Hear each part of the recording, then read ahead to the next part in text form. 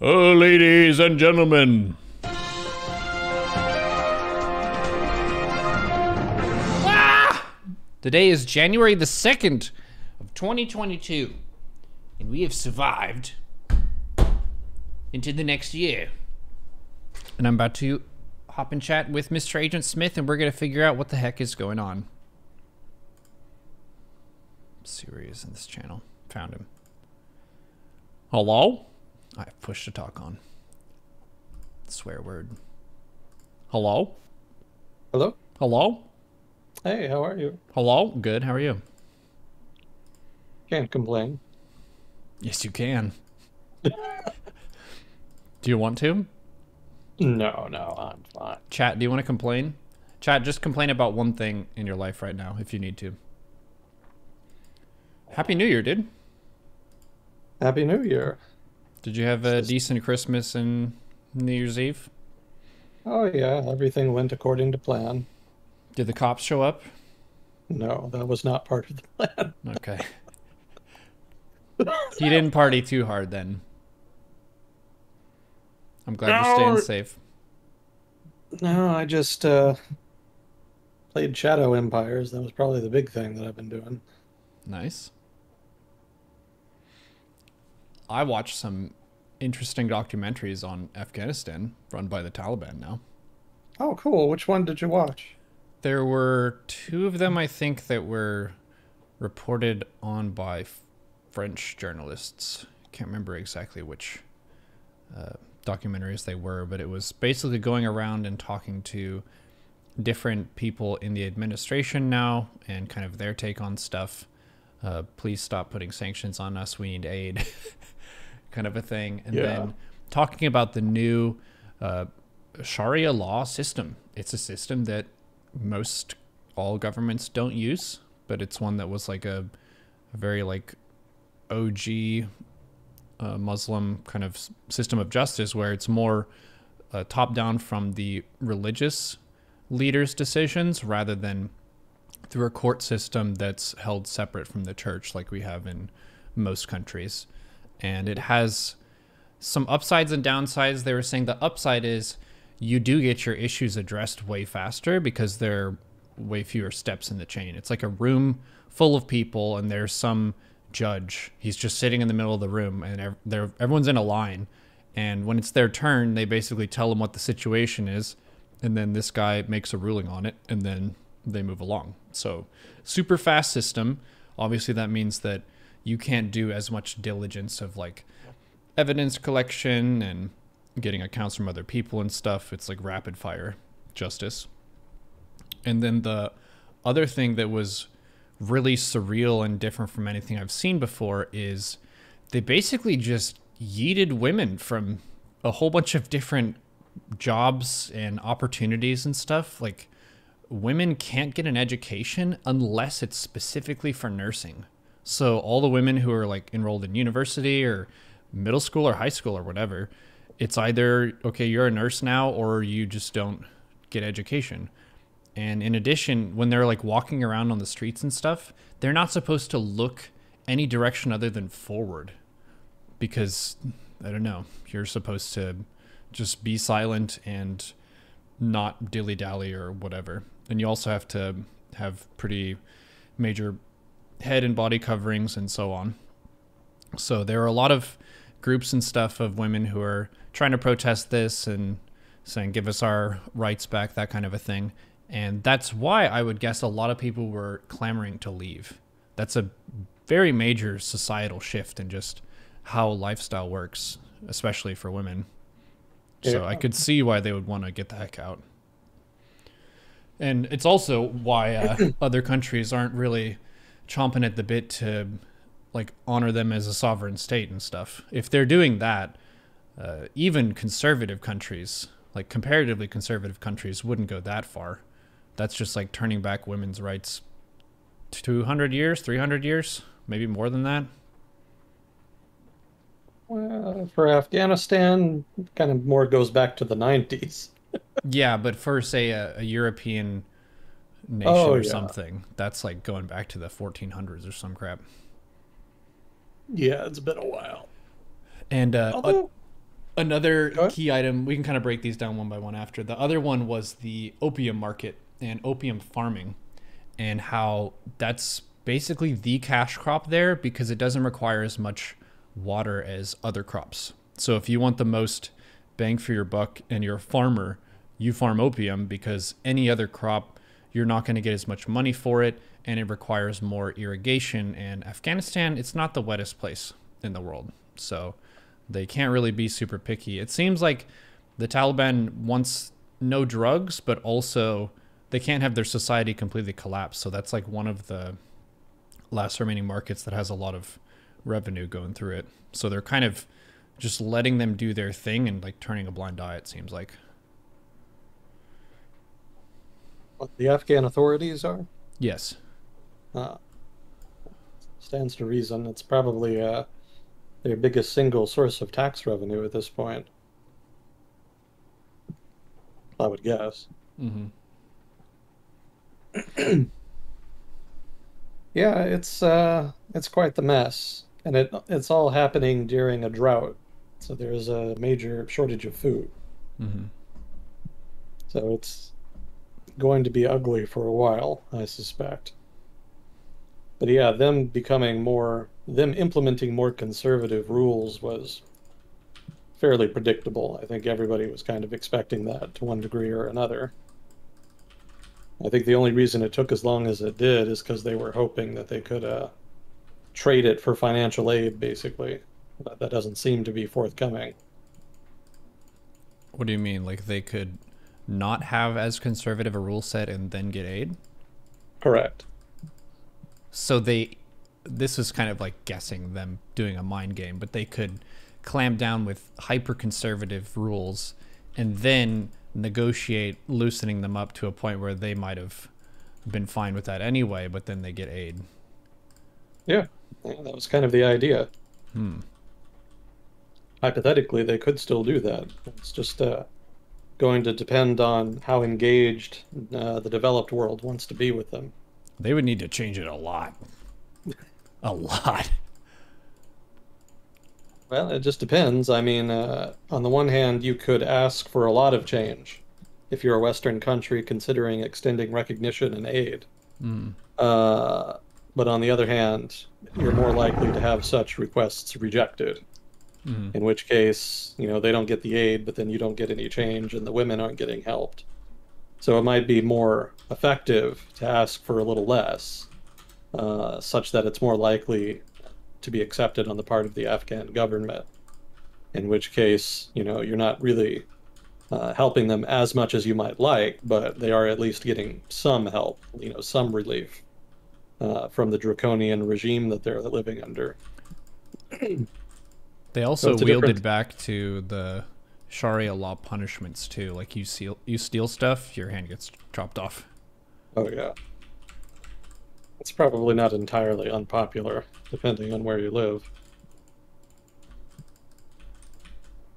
I think I remember reading too that there's a fair amount of regional variance in terms of implementation.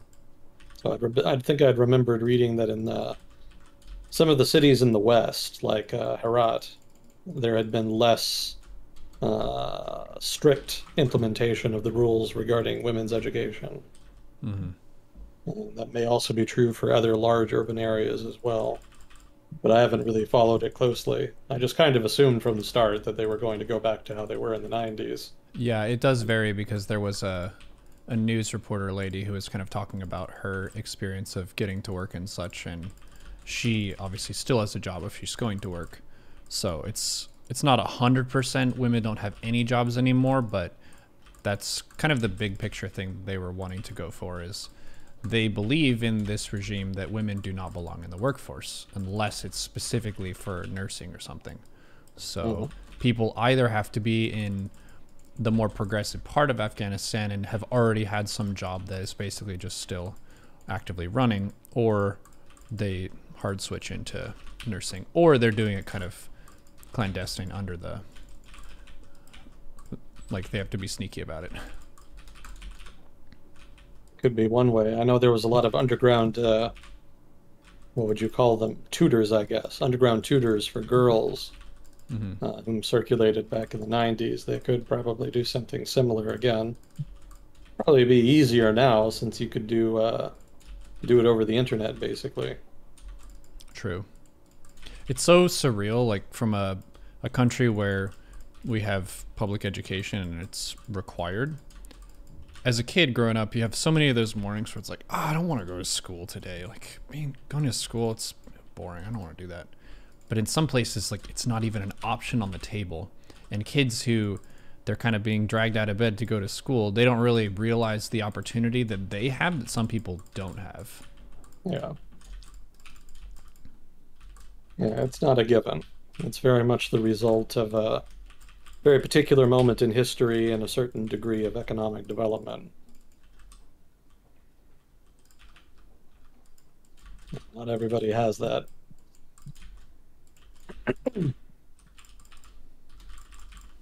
yeah, I guess one could counter, could provide the counter argument that the uh, surreal thing is not so much the lack of education, because you can, you know, you can kind of see a lack of extensive public education in a multitude of uh, undeveloped nations.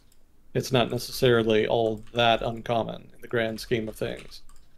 Uh, what is perhaps more unusual is that uh, the United States, in conjunction with a, a number of the wealthiest nations in the world, tried to create such a system in one of the most poor, backwards nations on the planet, and did so uh, for 20 years.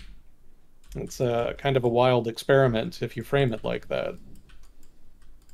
Mixed results, suffice to say, and it was always something of a bubble, given the lack of political will to kind of stick it out permanently.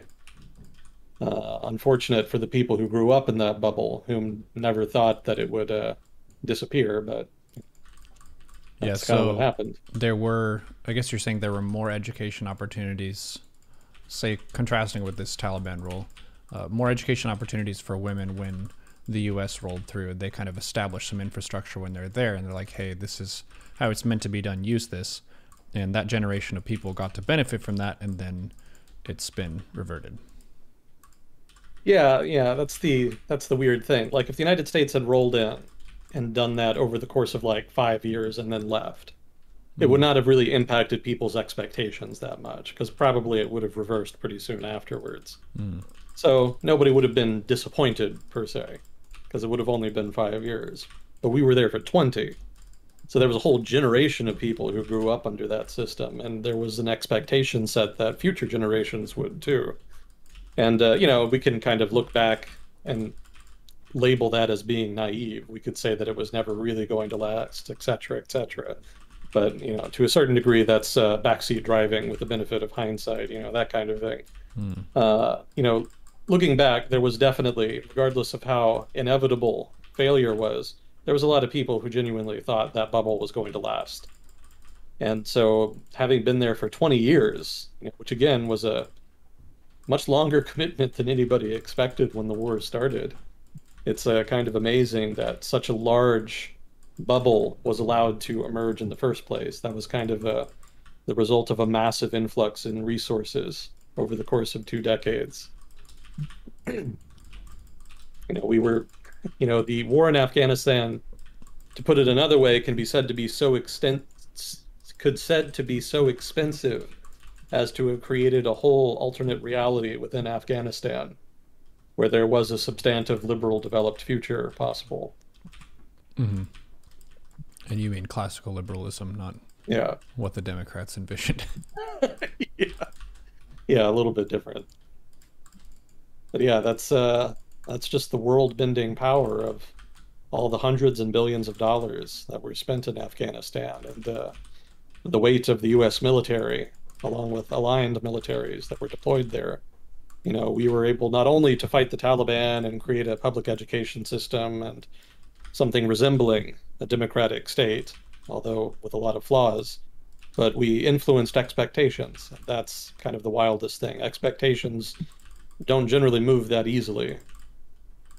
So to have long-term expectations shift like that on a national level, you know, all over the country, and then to just change it overnight, that's pretty extreme.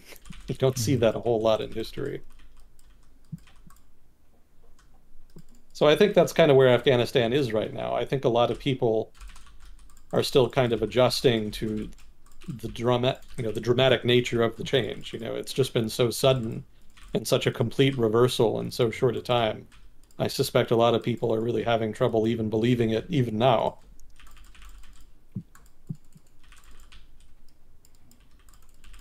So it's not entirely clear what the final equilibrium is going to look like. I think it's going to take a while for you know, not only the people the Taliban conquered, but also the Taliban themselves. It's going to take all of them a while to kind of adjust to the new normal. Mm-hmm. Yeah, the Taliban were totally unprepared for governing large cities, especially Kabul. That Kabul has grown significantly since they were last in power in the 90s. So they're not at all ready for that.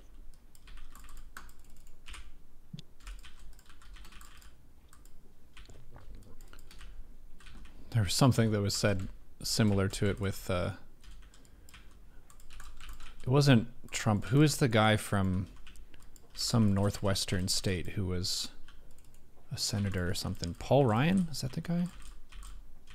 Paul Ryan was uh I think he was the GOP Speaker of the House for a long yes, time. Yes, I think that was him. He made some comment about how it's harder to be a, a majority party than an opposition party because governing is hard. which is true. It's definitely easier to be the complaint box of being like, you can't do that, it's bad, than to actually make something that has enough compromises that both sides agree on it and they're willing to kind of move forward with something mm. across party lines. Very difficult to do, regardless of where you're doing that from. Yeah, unfortunately so. You know, here in the United States, we're fortunate to have a relatively stable political culture such that there's a norm in place where we try to settle those kinds of differences peacefully. There's a lot of countries that uh, still do it violently. They're the worse for it. It's a difficult norm to uh, get in place. Mm-hmm. You kind of have to get everybody in the country to recognize it and respect it. And if a large enough portion of the population doesn't want to, then you basically just can't then you have a whole new set of problems.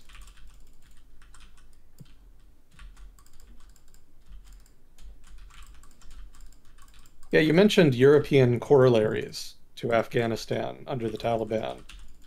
And uh, I thought of uh, Spain under General Franco after he won the Spanish Civil War in the 1930s.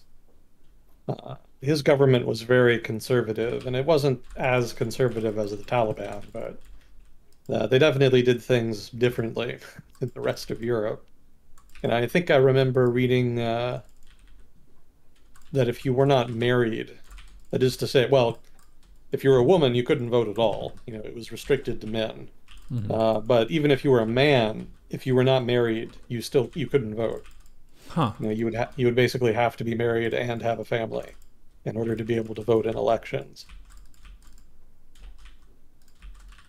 you know, little things like that, basically. That's the one that comes to mind, but I'm sure there's others. Maybe we've got some people from Spain listening who can provide some other examples. But uh, yeah, there was a lot of uh, very conservative policies like that that were implemented at that time. I don't know for sure, but I suspect also that he probably gave big chunks of public education uh, that is to say, responsibility.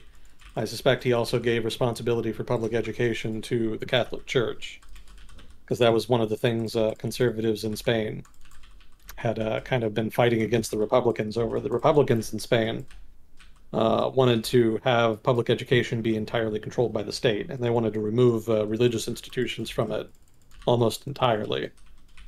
And so, having lost the Civil War, then obviously the conservatives went in the opposite direction.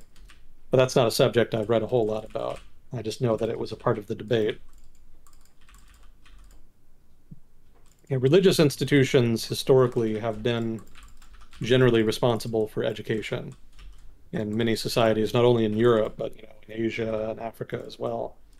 Uh, you know, in Asia's case, it was more like you know Hindu temples or uh, Confucian temples or what have you, but uh, there generally wasn't a whole lot of public education per se. Mm-hmm probably India came the closest. I understand that uh, European public education as an idea was kind of borrowed from public education in India, but in India's case, I don't think it was state education. I think it was just sort of broad based religious education.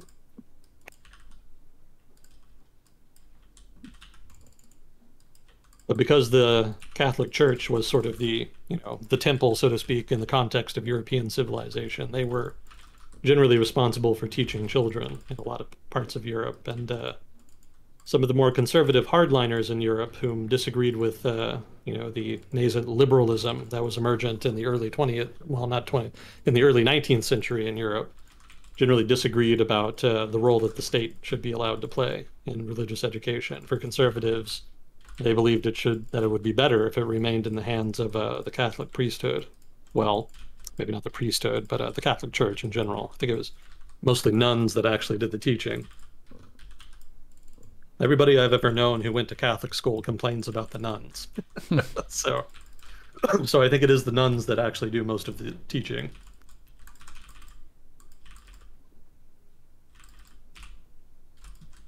But yeah, that's just an example of a rough European corollary to uh, conservative policy making in Afghanistan. Yeah, it's not exactly the same. They were never as bad as Afghanistan, but uh, there have there is at least one example there of a country kind of uh, basing their policy on conservative ideals rather than liberal ideals. Conservative within the context of European politics. Mm-hmm.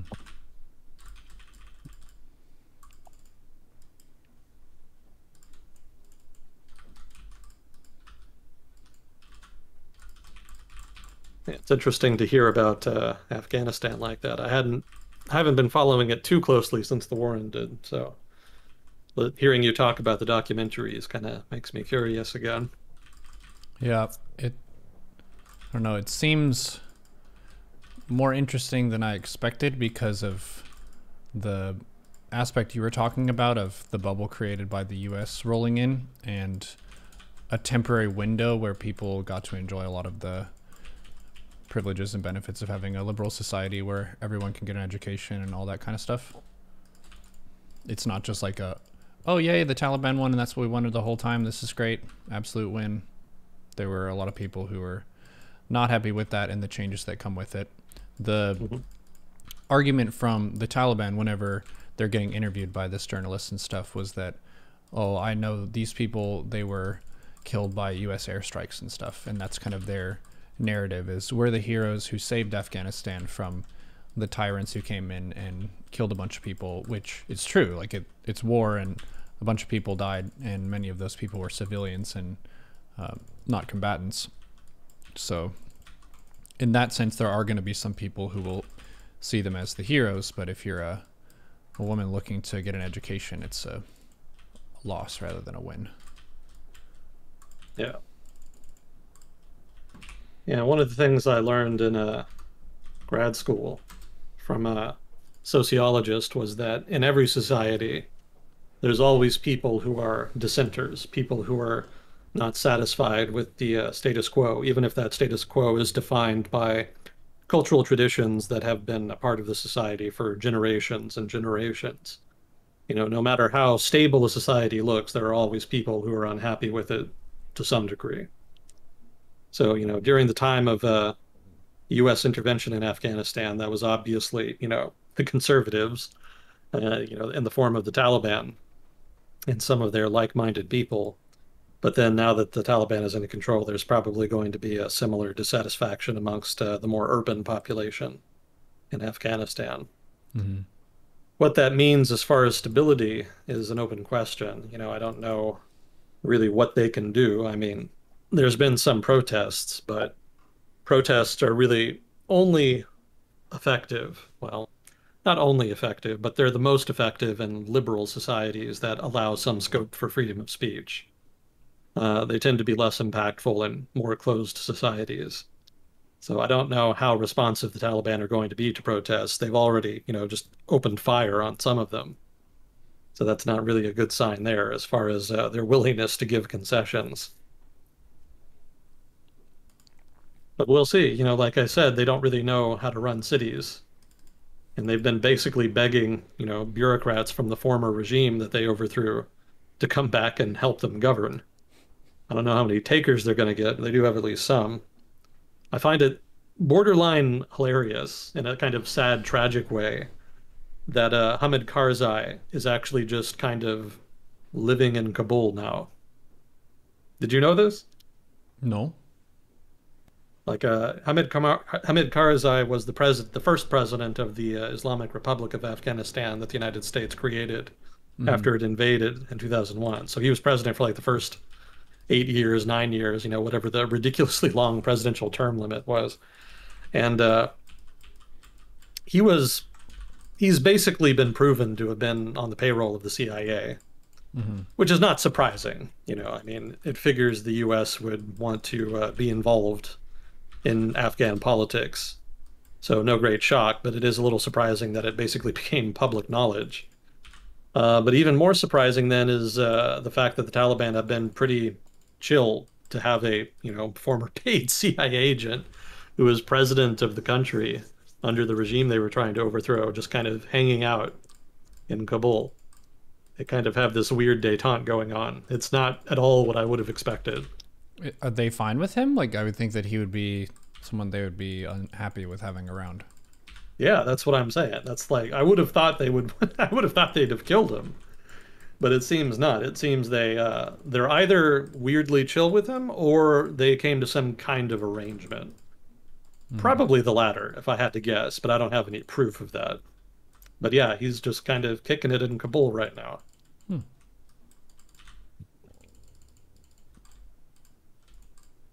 A very strange time to be alive, Neuro. True. We're definitely in a period of instability and a lot of weird stuff. One of the interesting ones this year, we get the other side of the coin. So last summer we had some like 113 degree days in Seattle, which is like what the heck? This is not our our usual summer. Like what what? Do we need to get air conditioning everywhere now? And then um, we've been having sub freezing temperatures for over a week and it snowed a bunch and it was down to like I don't know 16 degrees here.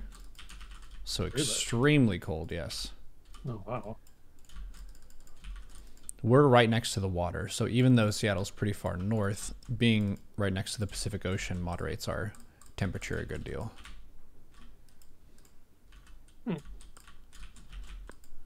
Compared with somewhere like equivalent latitude, but uh, more inland. That's called continentality. Hmm. Well, you can keep all that cold weather. We don't need it down here. You'll probably get some weird cold spell again. I hope not. It didn't go too well last time. It didn't. I was actually talking about that the other day because uh, we have some viewers from Texas. Broken Helix lives in Texas, and he was mentioning that cold spell that y'all had, and I was like, oh yeah, who is that that senator who just offed to Cancun right when that happened? It's like, oh man, it's really cold here. What should we do? Let's leave. And then all of your constituents are trapped in Texas. It's not the best look. No. He should have talked to someone before doing that, I think. Yeah, I'm inclined to agree. It wasn't the most uh, inspiring moment of his political career. when you think of which politician do I think represents me and who do I want to follow into the field of battle? Ted Cruz, he's not super high on the list after doing that. Yeah, I'm sure he'll I'm sure his core supporters will still love him. Yeah. But I don't I don't know how popular he still is because I think like the height of his popularity was back during the Tea Party movement. Yeah. Back under the Obama administration, because you could really tell that he was posturing for a uh, presidential run. You know, basically throughout the Obama administration, mm. he really wasn't very subtle about it. And uh, he, you know, him and his machinations were one of the big reasons that there was so much uh, discord in the uh, Republican caucus in the Senate, if not also the House. So there was a great deal of upheaval at that time and uh, some of his ambitions were definitely one of the major contributing factors, which made it all the more ironic then when you know after going out of a way going out of his way to pose as sort of this uh, right wing lodestar of the American conservative movement that he ends up getting primaried by Donald Trump, whom just kind of swings in and paints himself as being even more conservative and even more radical and even more of an ideologue. Yeah, the the stance of appearing like an outsider seems to be a pretty big edge because of the satisfaction with like current politicians. While being involved in politics informs you about how to win and improves your power network, say like a Hillary Clinton, uh, the general public kind of sees uh, representatives as being kind of lazy, where if there's a government shutdown, a lot of other people who have more physically demanding jobs still have to work, but they get a day off. So, yeah. Image goes a really long way. And one thing that I've talked about regarding streamers is the difference between the streamer's like on camera persona and how they would conduct themselves just with their friends off camera. And you could more or less like plot the distance for each person. It would be kind of a a fuzzy social piece of data, but um, you could still say, all right, for this person, are they actually like this day to day when the camera isn't on, or are they pretty different from that? I think I'm mostly the same. I would concur. From what I remember, it's been a while since we've actually hung out in person. Yeah. But yeah, yeah, I, from what I remember, pretty much the same. One thing that I do less when I'm not on stream is occupy as much space in the conversation. If you talk like a streamer in a group setting of like five people or so, it's pretty obnoxious. so I try to listen more. And that's always a pretty good idea in general when you're in large groups like that. Mm-hmm. I mean, sometimes the distribution of personalities kind of is just conducive to it. Mm-hmm. You know, sometimes you have a bunch of shy people and then maybe one sort of extrovert. So then naturally they just kind of dominate the conversation. But yeah, in general, it's kind of better to take a back seat in larger groups. Just kind of allow the conversation to flow organically and just kind of follow it where it goes.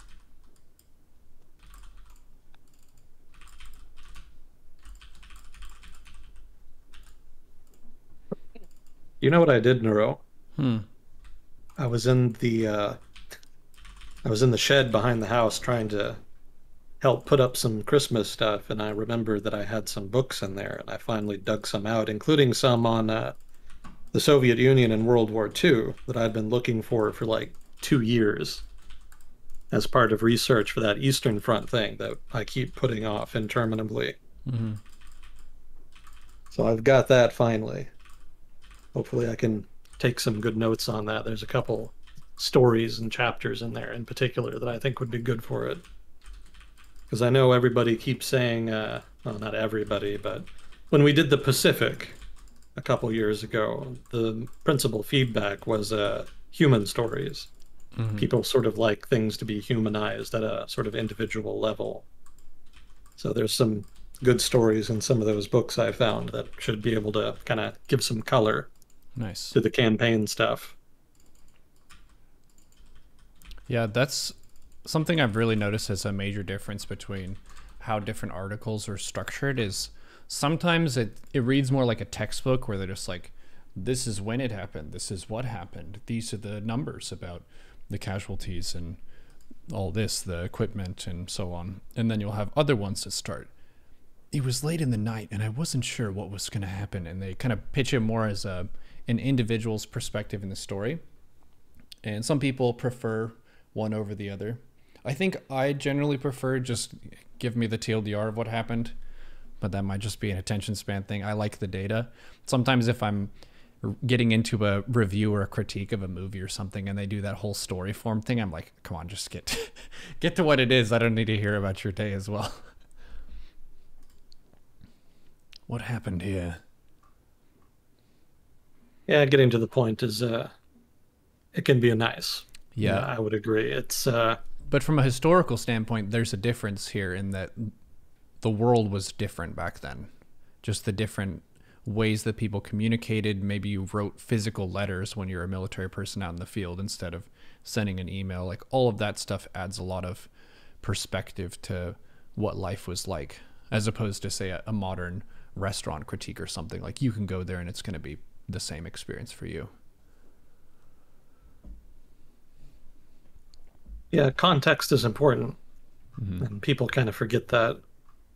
Well, they don't forget it per se, but you know, it's over the breadth of time, you know, newer generations just don't remember, so they kind of lose the original context. Mm-hmm.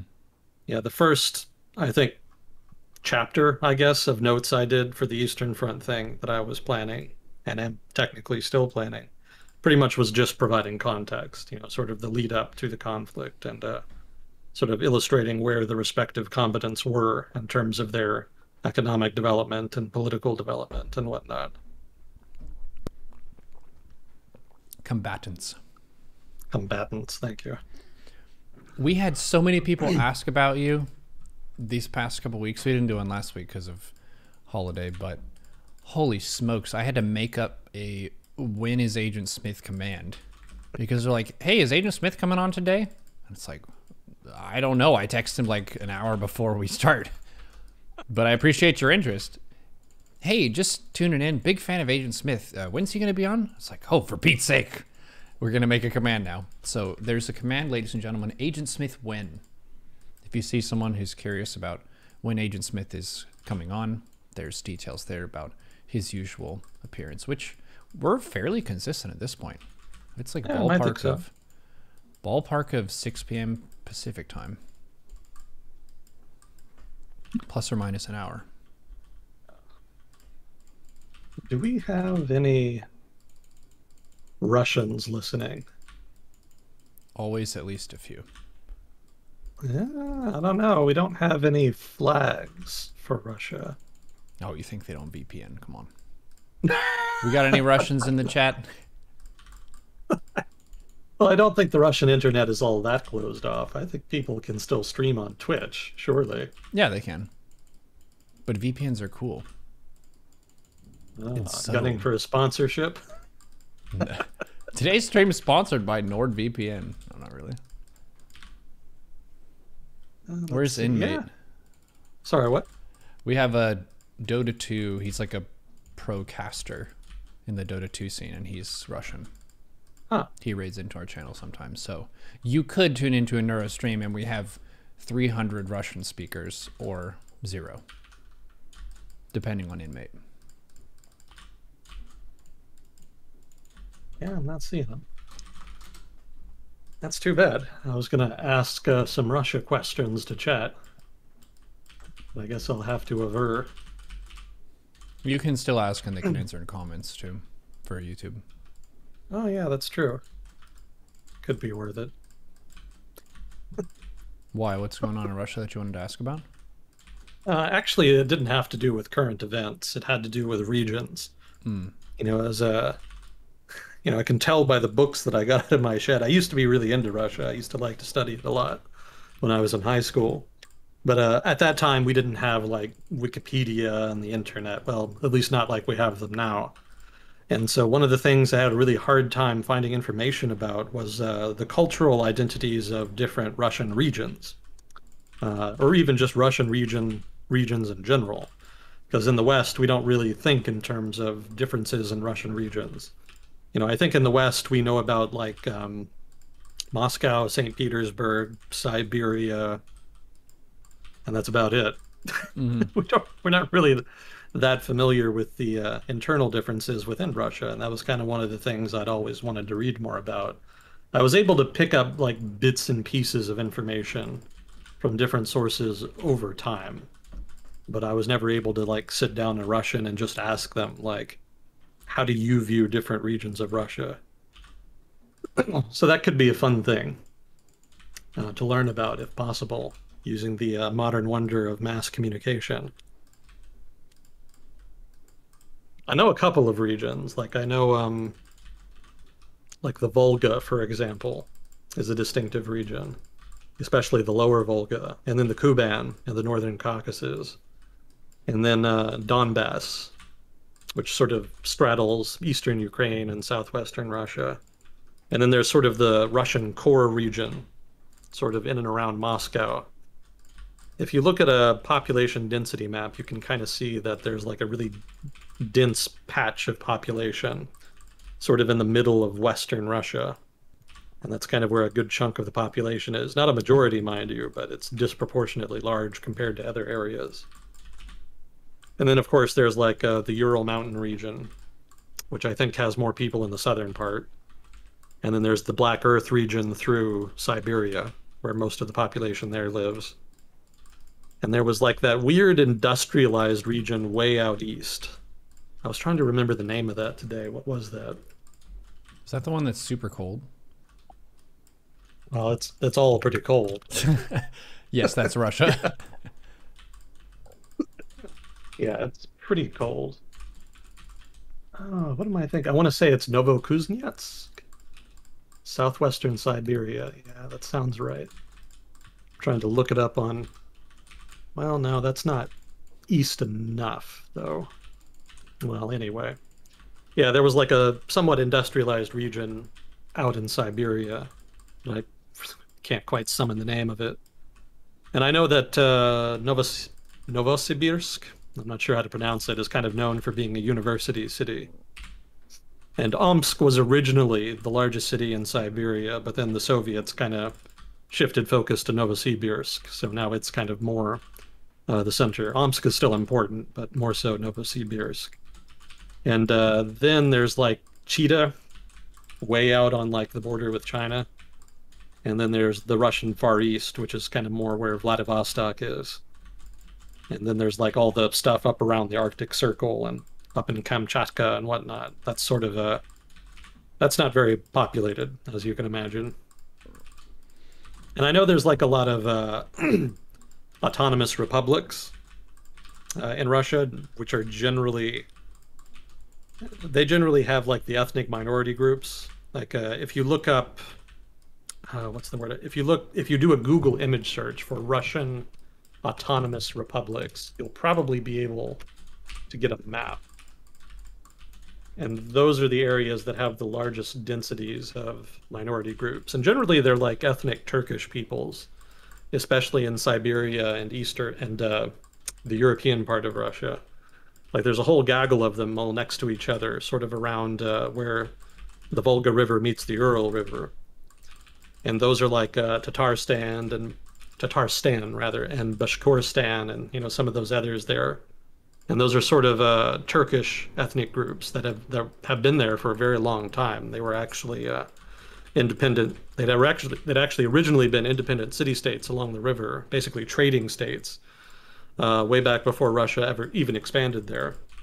And actually, one of the first places east of Russia that the Russians expanded into and conquered uh, back when Russia was undergoing like its first major expansionary phase in the 1500s was sort of that area where the Ural River meets the uh, Volga River. You know, these sort of uh, Tatars, basically, that they conquered and subjugated. I think the largest city there is Kazan, if I'm not mistaken, which is not the kind of name you would associate with a major Russian city, but Kazan actually is is a significant Russian city, and it still retains a considerable Tatar identity. It's not as though they were completely swamped with ethnic Russians. I think it's something like 50 50 now.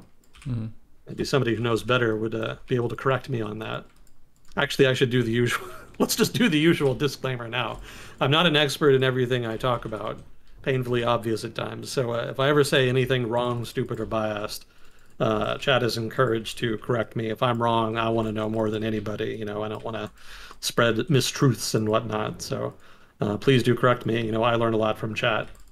You know, when I read through, I don't read chat while we do this, but I will read it after. I can't really walk and chew bubble gum at the same time, unfortunately. but yeah, please corrections are welcome and uh, participation is encouraged. But yeah, that said, so this particular cluster of autonomous republics northeast of Moscow are mostly Tatar, and they still retain like a lot of Tatar identity. Like a, uh, a lot of them are still Muslims, for example, and some of the architecture kind of reflects uh, Tatar heritage. And they still speak their original language, I believe, if I'm not mistaken. You want some really weird trivia about the Tatars? Tatars? Yes. Actually, I'm not even sure how to pronounce it now that I think about it. That's another one of those words that I've always read but never heard said. I think it's pronounced Tatars, but please correct me if not. But yeah, as far as trivia, uh, the Tatars in Tatarstan specifically, uh, the Autonomous Republic of Tatarstan in Russia, are actually related to the population of Bulgaria. And uh, it's a very old linkage. Like they've been separated for a very long time to the point where they're fairly different cultures now. Uh, but ethnically speaking, they actually have a common origin. So, like uh, originally, the people who lived in what is now Tatarstan were called Bulgars. And uh, what happened is a sort of segment of the population migrated south and then west into southern Europe. And uh, they kept the name, you know, Bulgar, but they didn't really keep much else. You know, they changed their language. They kind of adopted a more Slavic culture and Slavic language. You know, basically they became modern Bulgarians, but they kind of retained the old identifier Bulgar. Uh, now, the original Bulgars, the old Bulgars up in, uh, you know, the Ural River, they ended up retaining the language, retaining sort of the culture, but they ended up changing the name because they were influenced by uh, Mongols, which kind of blew in and influenced the culture, as well as sort of other influences. So they became known as Tatars instead of Bulgars, and uh, they've kind of kept the identifier ever since. Hmm. so yeah, it's a it's a pretty neat area. You know, when people talk about Russia and Russian culture, they almost always focus on, you know, Moscow or St. Petersburg or uh, maybe Siberia, you know, because Siberia kind of has an identity unto itself outside Russia. But you know, people don't really talk about the autonomous republics that much. They're kind of invisible to the Western imagination. I feel. Yeah, there's the a... majority of the population is concentrated around Moscow, right? At least that's the biggest chunk. That's the most densely populated part, but yeah. uh, I would say more like European Russia in general has like two thirds of the population, something like that. Mm-hmm. Siberia, which is again the entire region east of the Ural Mountains, only has like uh, 40 million people. It's not much. You know, it's probably around the population of California at this point. Uh, to give a comparison, though, like the West in the U.S. is very sparsely populated compared to the East. If you're looking at states like Utah and Nevada and yeah. Wyoming and stuff. Yeah, exactly.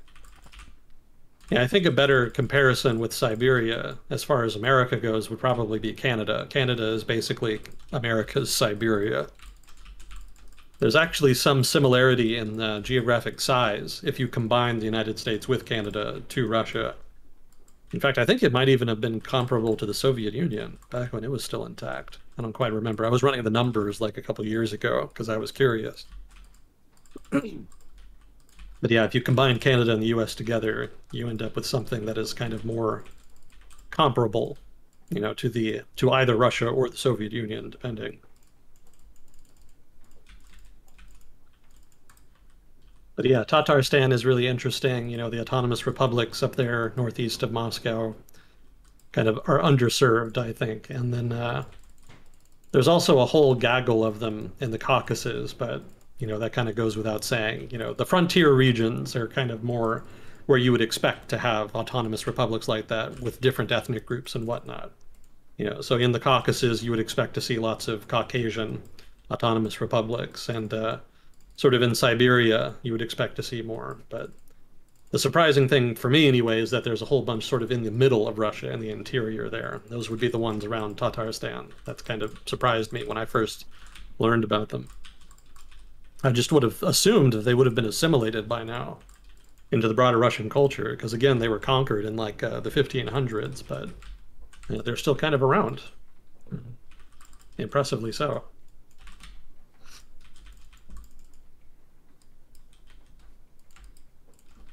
Yeah, one of my little projects, um, well, I mean, one of my projects in general has been to try to kind of learn about regions such that I can kind of characterize them from different perspectives. And so, you know, even what I'm talking about, you know, trying to learn regional identities in Russia is kind of part of that same project, or maybe I should say hobby at this point. And one of the things I was thinking about is how people in Russia view people from the Caucasus. And I was watching a YouTube channel. Um, it's not a Russian YouTube channel, but it is a Russian YouTuber, I guess. I'm not quite. I'm not quite sure what the correct characterization is there. Um, but you know, he was a Russian guy who liked to talk about Russia. You know, there's there's a couple channels like that from you know different countries where people just talk about their country. And uh, he made the point that there was some discrimination in Russia against people from the Caucasus as well as people from Central Asia. And that kind of got me thinking about whether or not people in Russia look at people from the Caucasus in the same way that people from the West look at people from Russia.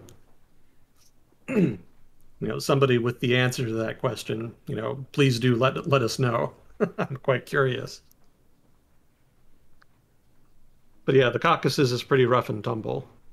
You know, that's where Chechnya is, that's where Dagestan is, uh, that's where Ossetia is. And I don't know how many people remember the war in Georgia back in 2008, but uh, one of the little breakaway statelets that was trying to declare independence from Georgia that uh, Russia intervened on behalf of was uh, South Ossetia. And so that's technically an independent state. You know, if you're Russian, if you're not Russian, then it's sort of a breakaway province. But regardless of how you want to characterize that, uh, South Ossetia is sort of the Georgian corollary for North Ossetia, which is an actual part of Russia, an actual territory there. I don't quite remember if it was an autonomous republic, but they do have like they are ethnically Ossetian, and uh, yeah, they just kind of ended up separated by dint of history. You know, just historical accident. One in Georgia, one in Russia.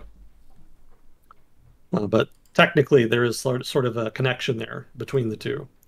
So they saw some conflict basically in 2008, and then uh, I guess it's a little dated, but in the Kuban, sort of in the northern part of the Caucasus, there was a considerable considerable amount of violence in the Russian Civil War, and then also uh, a considerable considerable amount of violence during the dekulakization campaign in the early Soviet Union and the decossacization period uh, campaign, rather, also in the early Soviet period. Uh, you know, there were lots of Cossacks basically in that particular area, the Kuban and the Donbass, Eastern Ukraine. That was sort of their principal stomping ground. I guess also Siberia. Most of Siberia was originally settled by Cossacks, but I see Tatarstan. I pulled up a map. Oh, this is looks like it's the regions. Oh yeah, these are provinces. Yeah. They don't distinguish them based on type, though. Mm-hmm. Yeah, there's oblasts, which are like the basic type of province. And then there's which or krais. I'm not sure how to pronounce it, but basically those are like territories, mm-hmm. kind of like with um, unorganized American territories before they became states back in the 1800s, like Nevada territory or Nebraska territory. Mm-hmm. Basically, those are kind of like what krais are. They're more or less directly governed from Moscow and have less discretion than oblasts do. Mm-hmm. And then there's autonomous republics, which are basically states within a state, although they have less discretion than they used to. But uh, technically, they have the most discretionary power of any political entity within Russia. So there are these Altai and Tuva republics in the south. Hmm? Altai and Tuva are two republics here down kind of Oh yeah, Central. Tuva's fun. What's yeah, Tuva? Tuva, I think used to be. It was either part of Mongolia originally, or it was just an independent state. I don't know enough of the history to know which, but the Soviets forcibly annexed it in the 1920s or 30s. You know, basically early 20th century. And uh, the native ethnic population of Tuvans has kind of been butthurt about it ever since. Mm-hmm. So, you know, of, you know, in general, if you look at the ethnic breakdown of almost all of these republics, Russians are either a majority or they're roughly 50-50. There's very few where Russians do not have a significant demographic presence. Uh, you know, the ethnic, you know, the native ethnic groups sometimes still uh, represent a large part of the demography and frequently have done pretty well in preserving their culture. Uh, but there's not really any that are purely one or the other ethnic group. You know, generally Russians are very much a part of the demographic landscape. But Tuva is the exception. Tuva, I believe, only has a relatively small minority of its population that is ethnically Russian. And from what I've read, there's some discrimination, well, maybe not discrimination, maybe that's not the right word, but uh, relations between Tuvans and ethnic Russians are not the best. There's apparently some communal tension there, from what I've read. Yeah, and you could see why. Yeah. And on the west side of Russia, these are all a lot tighter regions, so I'm guessing they have greater population density over on this side Yeah. here. Oh yeah, very much so. Can you see uh Tyumen anywhere in there? Yeah, it's kind of in the middle. It's yellow. It's uh east of Perm. Hello, yeah, Tyumen next to Omsk and Kurgan. Yeah, that's kind of like that's almost Russia's Texas. That's like a major energy producing province. It's sort of southeast of the Ural Mountains. Using what resource? Oil? Uh, I want to say oil. I guess it could be natural gas, but I want to say oil. That's what I'm remembering anyway. But yeah, there's a good chunk of uh, Russia's energy sector that kind of gets its energy from that province. Mhm. So if you look at a map of uh, what would, what would you call it? Provincial GDP per capita, basically. Uh, you'll see that you know obviously Moscow and St. Petersburg and Western Russia generally is the highest, but then you'll see out east in Siberia this one sort of bright spot, and uh, that's Tyumen generally. So they have a slightly elevated uh, income per capita in that particular oblast.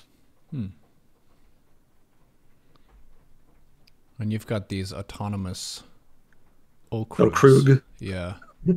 Yeah, I'm guessing these are kind of middle of the Siberian forest because these regions are really big. So Yeah. population density is probably really low and also resources are probably pretty low. yeah. Honestly, I don't remember what distinguishes autonomous Okrugs from the other provinces. Mm-hmm. It's been too long since I've studied it. I want to say it's like a variety of krai, like a variety of territory that's governed directly from the government, but that has somewhat more autonomy. But I don't really know the details beyond that. Chat was mentioning the Jewish region that they were saying Oh. there aren't really even any Jewish people there anymore. yeah, you can see it there, right? It's sort of in the sea. Yeah, yeah. That was created. I want. Gosh, was it was it the Soviets that made that, or was it like the tail end of uh, Tsarist Russia? I can't quite remember, but it's relatively recent. And the idea was to uh, create a province just for not only Russia's Jewish population, but also sort of for Jews in Europe and uh, elsewhere to go to as a safe haven. That's a pretty far away safe haven. Yeah, yeah. Well, you know, the remoteness was sort of meant to be part of the attraction. You know, there's not much going on there. So people could kind of be independent, kind of like the Mormons in Utah for a long time. You know, there wasn't really much governance there. So they ran away there and they were able to kind of do their own thing. So uh, I think Moscow kind of had something similar in mind for this particular territory. The fact that it would have also involved people coming and developing a fairly undeveloped region of the Russian Far East was probably also a factor. You know, whatever you got to do to get people over there to try to build up your presence uh, is probably worth doing. But yeah, it didn't work out. You know, I mean, the trouble Russia has is that it has kind of a bad reputation uh, amongst Jews for obvious reasons. You know, I mean, it was kind of known historically for pogroms and all manner of uh, communal violence and religious violence and whatnot. So, you know, uh, obviously other states had that too. I don't want to single Russia out, but, you know, Russia obviously had that problem. And, uh, you know, the trouble is that when a country that has a history of abusing a particular ethnic minority comes out and says, hey, we want all of you to come concentrate yourselves in this one province in one of the countries where you have the worst histories of violence, people are going to be a little suspicious. Yeah. Yeah, it's uh, it's not an intuitive move. So there was relatively little uptake as far as uh, Jews actually moving to the uh, Jewish Autonomous Oblast. I think that's what it was called. But I think it's still there even today. It has Crimea listed on here now. Must be a pretty new map. Can you see uh, in the northern Caucasus? There's one called uh, Kalmykia, I think it's purple on your map here. Kalmykia, northern.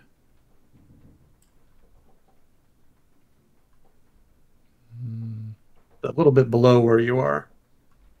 It's kind of eastern northern Caucasus. Eastern northern. Caucasus, yeah. Sort of down there where uh, Georgia and Armenia and Azerbaijan are. Mm. Oh yeah, there it is. Kalmykia. Yeah, that's a fun one. So, you know, if you look south of Kalmykia, there's Chechnya, which is, of course, known for, you know, uh, Islamist separatist violence. And uh, Dagestan also has some violence similar. So it doesn't have quite as much as, it doesn't have nearly as much as Chechnya, but it's been known for that. And then, of course, you know, you've got the, the Russians and sort of uh, the Kuban up in the western part of the area. So, you know, there's there's a fair amount of drama in the region uh, with ethnic Russians and Muslims and Caucasian peoples all sort of mixed together there. But then in Kalmykia, just randomly, there's a bunch of Buddhists. Hmm. Like if you look at a if you look at a religious map of Buddhism, you know, highlighting all the areas where Buddhists live, uh, you know, in concentrated populations, you'll see this one spot out in Europe, and that's Kalmykia. Kalmykia is the only large population of Buddhists uh, outside of East Asia.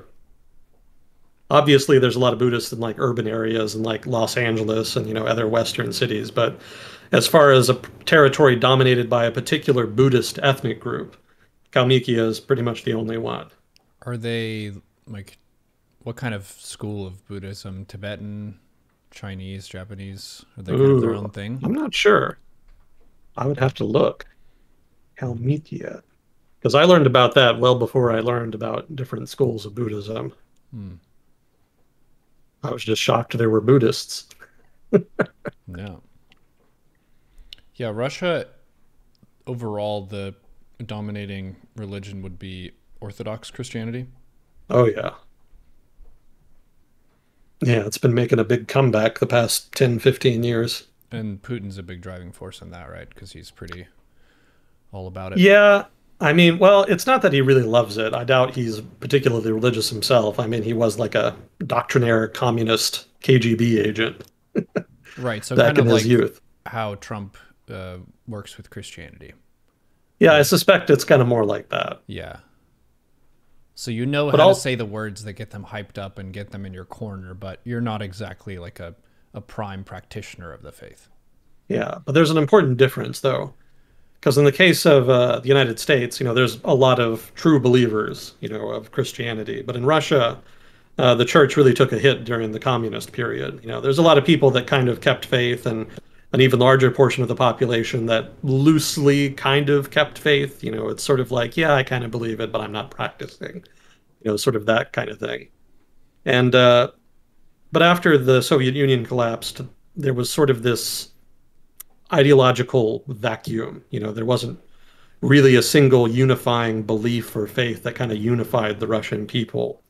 And one of the journeys that Russia has been on for the past couple decades since then has been trying to kind of find something to replace that hole that was left by uh, communism. And you know, different things have been tried. In general, Russia is a pretty nationalist country, so you know, to a degree, you could say nationalism has filled that void. But that's not really an ideology per se. So one of the things that uh, the Russian government has done is, is it's tried to kind of return to the institutions that existed before the communists took power in Russia and tried to resurrect those as some kind of unifying force uh, that could be the glue that holds Russian society together. And so part of that program has involved trying to really reinvigorate the Russian Orthodox Church so that it can play that role, or at least help play that role.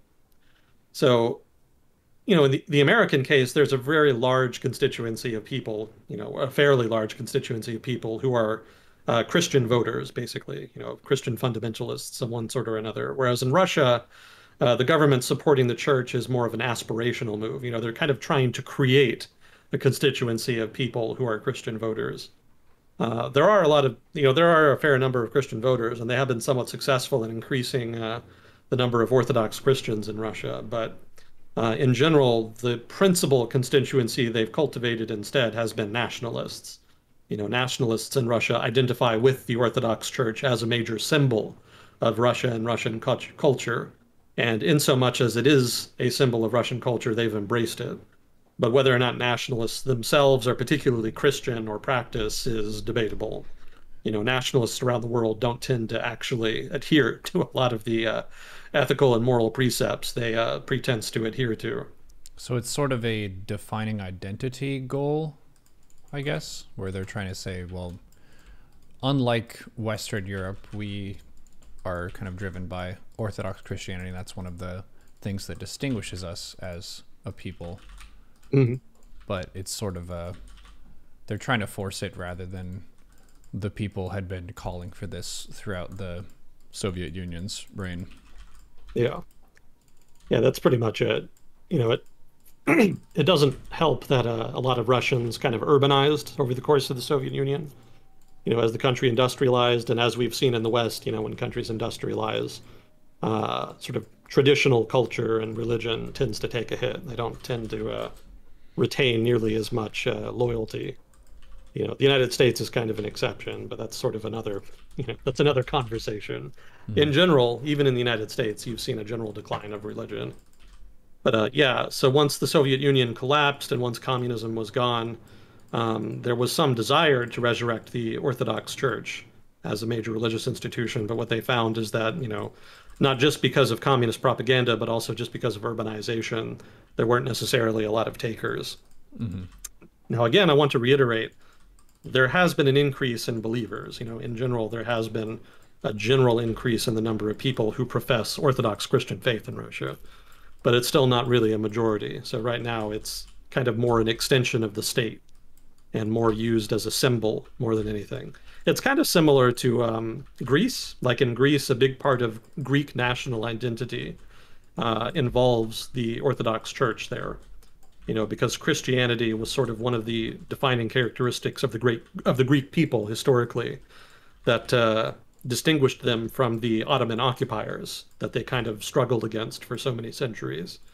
So over the course of the uh, emergence of Greek national identity, Christianity and the Orthodox Church kind of became integrated into that identity, such that now I think the Greek state actually uh, helps fund the church or has some kind of has some kind of official relationship there by which they support each other. And there's also another example, um, Egypt, I think, if not also some of the other pan Arab nationalist governments in the Middle East, they have a very similar relationship with Islam. Um, Islam doesn't really have the same organizational infrastructure as like uh, Eastern Orthodox Christianity or Catholic Christianity. They don't really have a single church per se. Um, but the religion itself, like in general, is a big part of the national identity in Egypt in particular, if not also the broader Middle East. And so pan Arab nationalist movements in uh, the Arab world, which generally were relatively secular uh, and socialist in nature.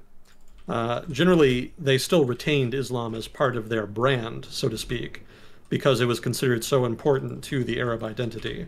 And so that was incorporated into policy making, such that uh, I think now there's like a school in which uh, imams are trained in Egypt, which is actually either directly or indirectly controlled by the government. So, sort of these uh, official relationships between religious institutions and states are not uncommon in territories where religion is associated with national identity. It just kind of becomes a nationalist demand to incorporate uh, religious institutions into governance to some degree.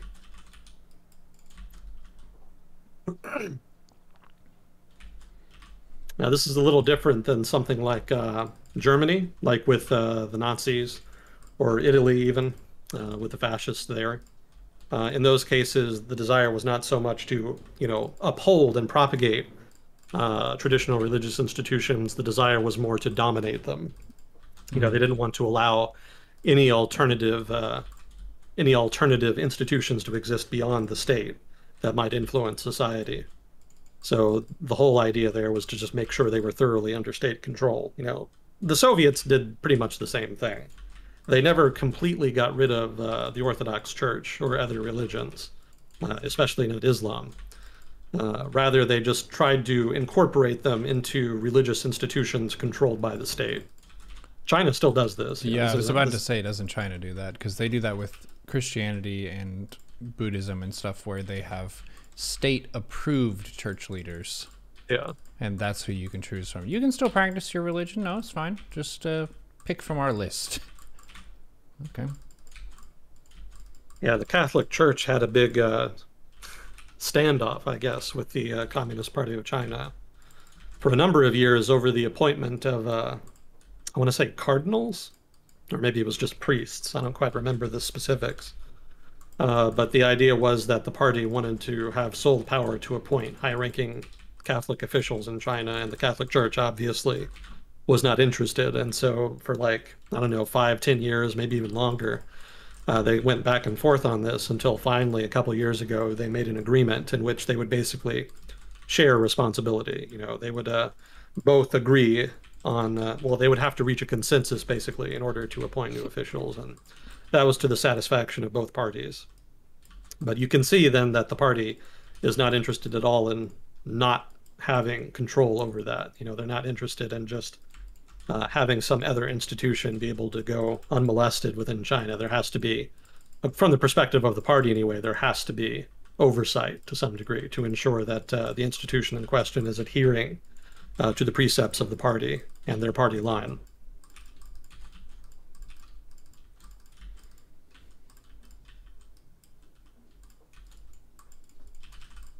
A little bit different than how we do in the states. Well, I understand that uh, the Mormon church over in Utah is pretty powerful. Yeah. They call it the bubble there, actually. Because a Oh, lot of, they? yeah, businesses and operations and stuff are just different. Like, they, pretty much everybody closes on Sundays just because um, if there's some Mormon rule about it, then they're not going to get a whole bunch of business. So even if you're not a Mormon run business, it just doesn't make sense for you to do stuff differently than how they're doing it there. Interesting.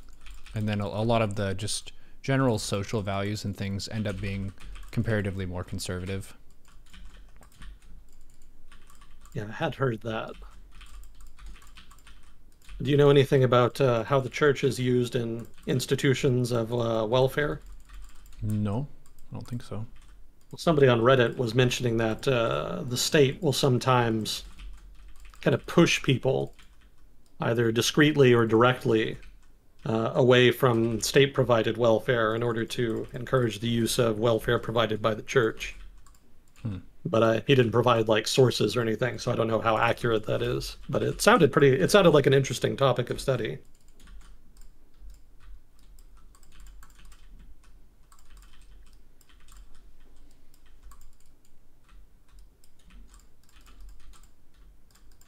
I guess since we're talking about Russia, I don't think we have any questions, do You you did get a, a quick silly question. What's your favorite color and why?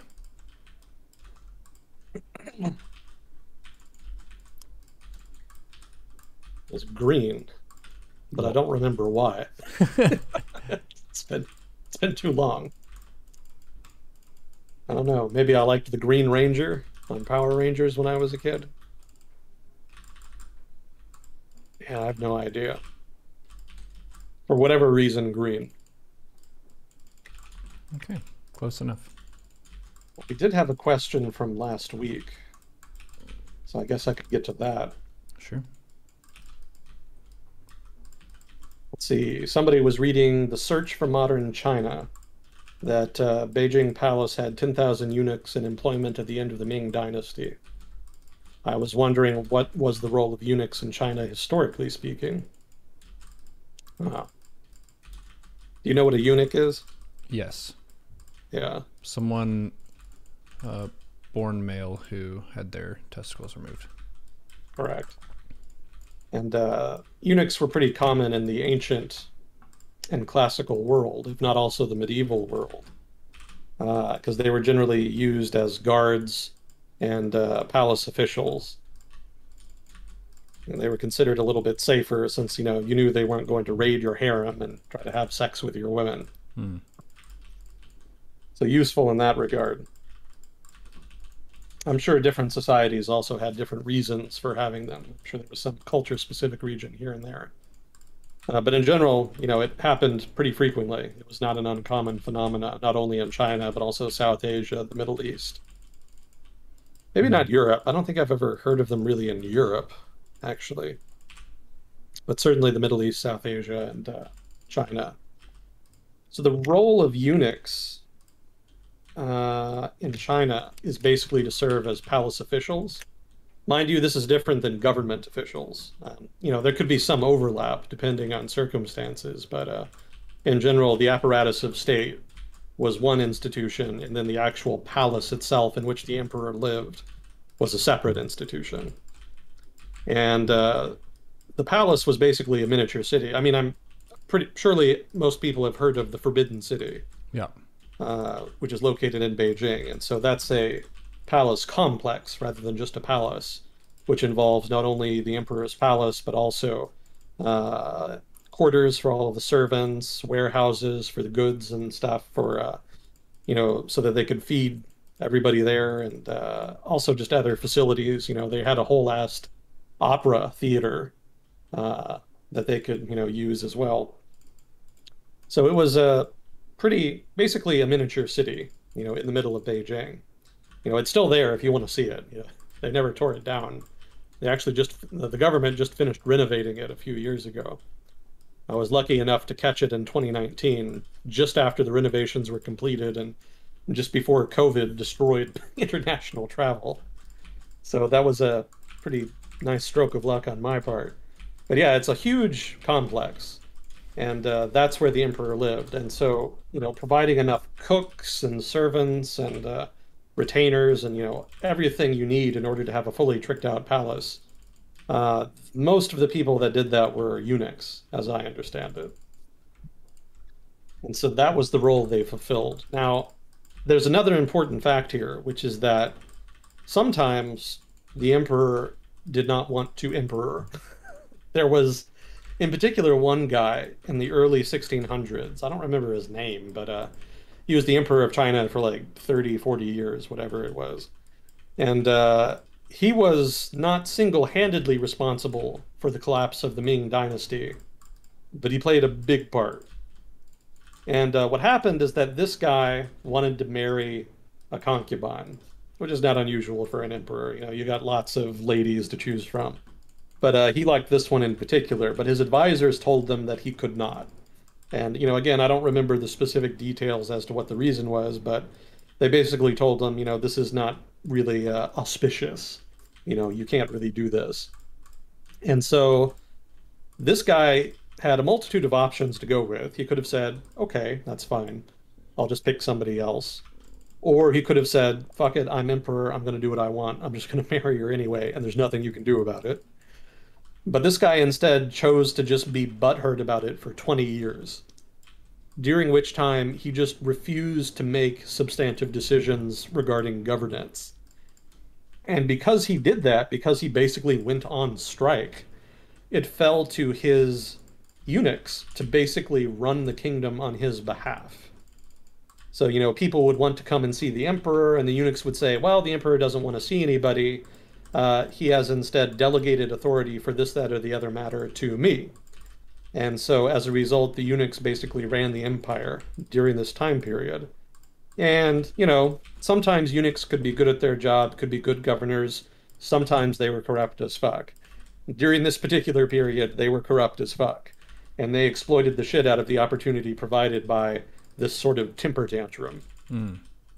And uh, the misgovernance that resulted was one of the major contributing factors to the decline of the quality of Ming governance, as well as the decline of the Ming Empire's economy generally, which led directly into uh, the period of travails that led into the conquest of the Ming dynasty by the uh, Manchu and the corresponding rise of the Qing dynasty.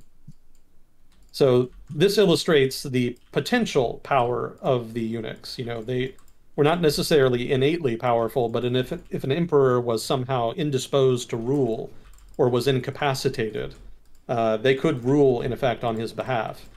Uh, another thing they could do as well is to control access to the emperor. Even if the emperor was governing, you know, properly, was making an effort, uh, they were basically his secretaries, such that if somebody had some important business they needed to discuss, they could just stop them from meeting the emperor. And uh, they could demand in exchange some kind of bribe or quid pro quo of some other kind that was profitable to them. And uh, you know, if you're one, if you're running your palace well, ideally that doesn't happen. But you know, obviously Chinese history is replete with examples of poor governance of one sort or another in one time period or another. So in those cases, uh, it could be quite damaging depending on the issue in question. But yeah, basically as gatekeepers to the emperor, uh, and given their privileged access to the emperor, eunuchs could be quite powerful politically uh, in Chinese politics.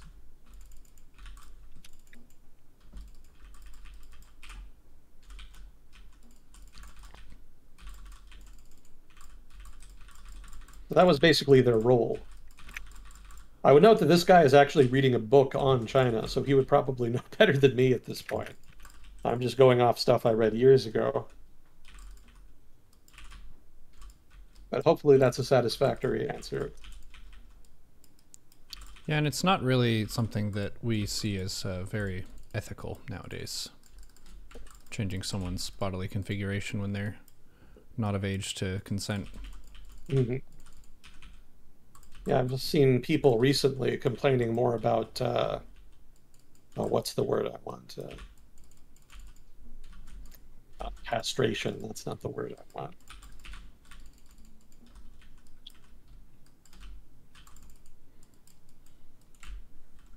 What is it they do when you're born? Like when you're a baby and they cut off the foreskin? Circumcision. Thank you. That's the word. It wasn't coming. Yeah, I've heard people more recently complaining about circumcision. Mm-hmm. You know, they're saying that it offers no benefit in in terms of the health of the child, mm-hmm. and it comes with risk. It's a very small amount of risk, but you know, why take it at all if it offers no real benefit? So I've heard people kind of make that argument. Mm-hmm. Yeah, you know, in general today, we would not approve of castration in order to create a class of eunuchs whom could act as public officials of one sort or another. Correct. That's the thing with norms, though. Is I guess back in the day, that was just like, okay, that's their, that's their lot in life, and they deal with that, and that's how it's always been. And if for all the previous generations it had always been like that, uh, it's less likely you'll have people who are like, "Hey, this is wrong. We should stop this." Yeah, they. uh I think in the Middle East they did better like often they were major uh, civil servants, you know, bureaucrats in Middle Eastern regimes to the point where they could seize power. Like when you hear about slaves in the Middle East, they're not like slaves uh, like we had here in North America. You know, slaves in the Middle East could be, you know, chattel slaves. They could be, you know, menial laborers, but uh, often they were also skilled workers or even intellectuals who could serve uh, serve in offices of government. Um, you know, if you study the history of Egypt, there was uh, a period of rule under what was called the Mamluk dynasty. And uh, Mamluk is basically Arabic for slave, or maybe it's Egyptian for slave. I don't, I don't remember the details, but uh, basically that dynasty was founded by slaves, uh, but they were educated slaves. You know, they were educated and served in government, and they found it relatively easy to seize power you know, one of the uh, tensions, historically speaking, between bureaucrats and rulers, uh, well, I should allow me to rephrase. Uh, a common tension, historically speaking, is the tension between rulers and their civil servants. Uh, you know, if you're a king, you kind of need to delegate authority to uh, professionals in your bureaucracy to some degree. But if you delegate too much authority, uh, they can find it very easy to just use that authority to throw you out you know they could just use their control of the army or police or what have you and just say okay you're not king anymore. You know now i'm going to be king. Mm-hmm. and so balancing uh, the power of bureaucrats uh, with your own power has been one of the main political games of uh, medieval societies uh, as well as you know societies even before the medieval period uh, throughout much of human history. And uh, a lot of those in the you know again to bring this full circle in the context of Egyptian society, if not broader Middle Eastern society as well, often that tension was specifically between kings and their slaves, whom were brought in to serve as those bureaucrats. Uh, the result in the case of the Mamluk dynasty being those slaves successfully seizing power and find, founding one of the great dynasties of the region.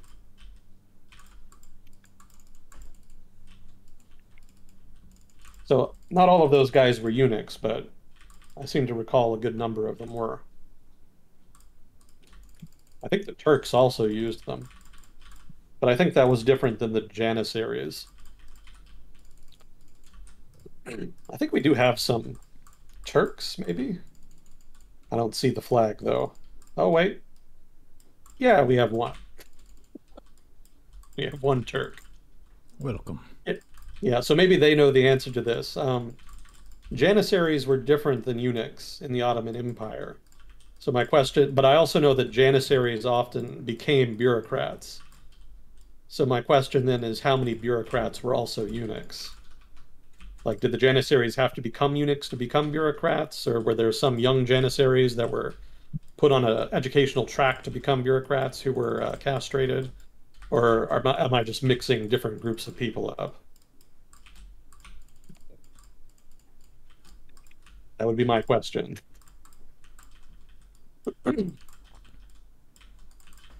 I think people of Turkish heritage are one of the main demographics in Germany now. Yeah, they're the largest uh, ethnic minority group. I think they're still larger than the Arabs, even. Even after the big immigration wave a couple years ago. Yeah, the funny thing about Turks in Germany is that the German government kind of has a weird relationship with them. Like, they don't really allow them to fully naturalize. And, you know, maybe my knowledge on this is outdated, but uh, I remember reading that, uh, you know, even German, well, even Turks, rather, who had been living in Germany for decades, uh, had still not been offered the opportunity to fully naturalize, even though they spoke German and had kids who were like thoroughly German and whatnot. Yeah, the Turks were originally brought into Germany to be like uh, factory workers.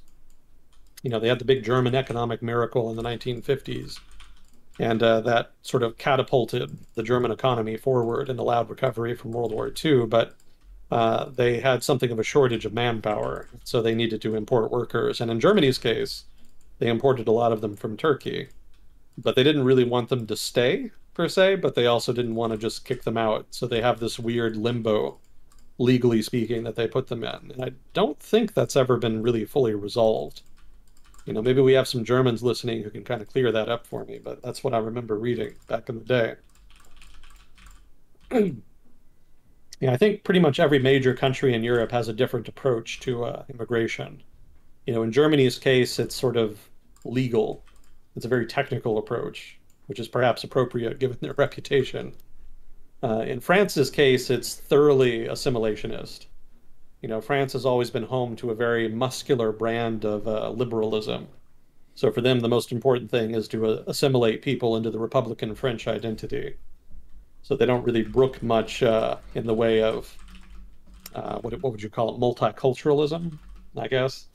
That's almost a loaded term now. That almost has a political context. So maybe that's not quite the right phrasing but uh, yeah in general the french polity so to speak in so much as there can be said to be a single polity in france generally prefers the assimilationist approach so that's kind of distinguish them from the Germans in that sense. The Germans haven't really taken much of an assimilationist approach. And then in Britain, they kind of have a managerial, multicultural type approach. You know, I remember reading that they had a, I guess it was one particular city, so maybe it's not representative, but in this one city, maybe it was Birmingham, they'd set up, uh, what was it, councils. They had set up like a council with representatives from each major ethnic minority. And the idea was that the council would be responsible for kind of easing tensions between them regarding this, that, or the other issue that cropped up. So it's kind of a prototypically statist British approach. As it happens, none of these approaches have worked particularly well, with predictable results. It's one of the reasons that uh, immigration became a substantive, significant political issue in Europe. You know, nobody's really been quite able to figure out the formula to both uh, assimilate people, well, maybe not assimilate, but integrate uh, immigrants into society while at the same time doing so without sparking a backlash on the part of uh, this, that, or the other particular group uh, within native populations. It's a difficult balancing act, and uh, Europe is still kind of trying to figure it out.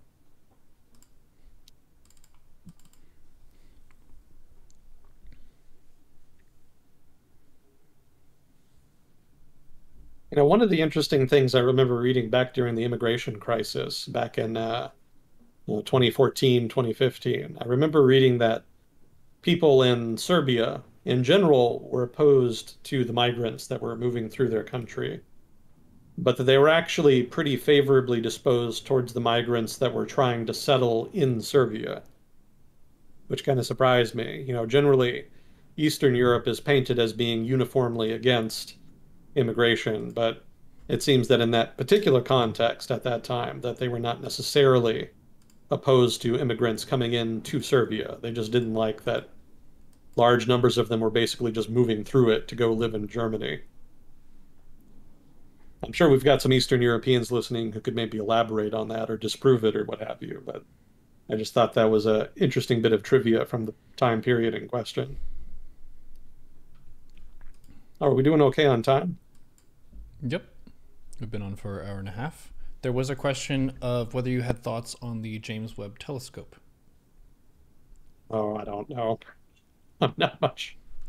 I'm not much for the fancy science, the hard science, the real science. Uh, I thought it was pretty cool. I think it's neat that they have something up there to kind of replace the uh, Hubble telescope.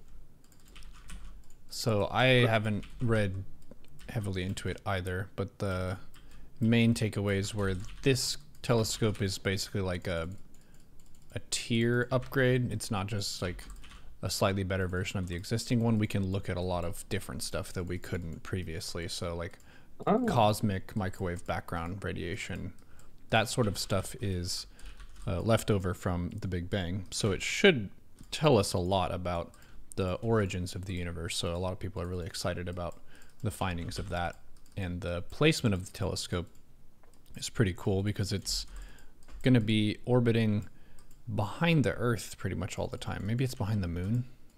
Someone can post an image of that. I looked at it before, but it's escaping me right now.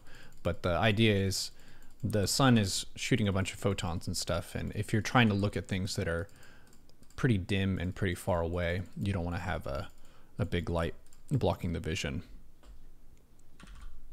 So it's got a, a nice cozy spot that's pretty much always in the dark so it can see super far. Yeah. Well, that'll be cool. Yeah. Lagrange 2 is the point behind Earth. That's what it's called. Thank you, chat. Range 2. Oh, that's right.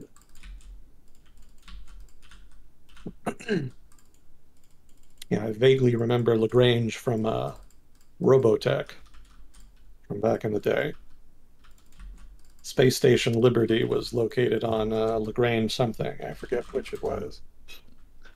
Probably not a lot of Robotech fans left, though, so probably not a lot of people remember it. Uh, let's see. Do we have any more questions? I kind of noticed one while I was looking at your screen here. Sure, what'd you notice? We don't have a question handler per se, so I've just been reading and passing them along. Let me get it here in Notepad.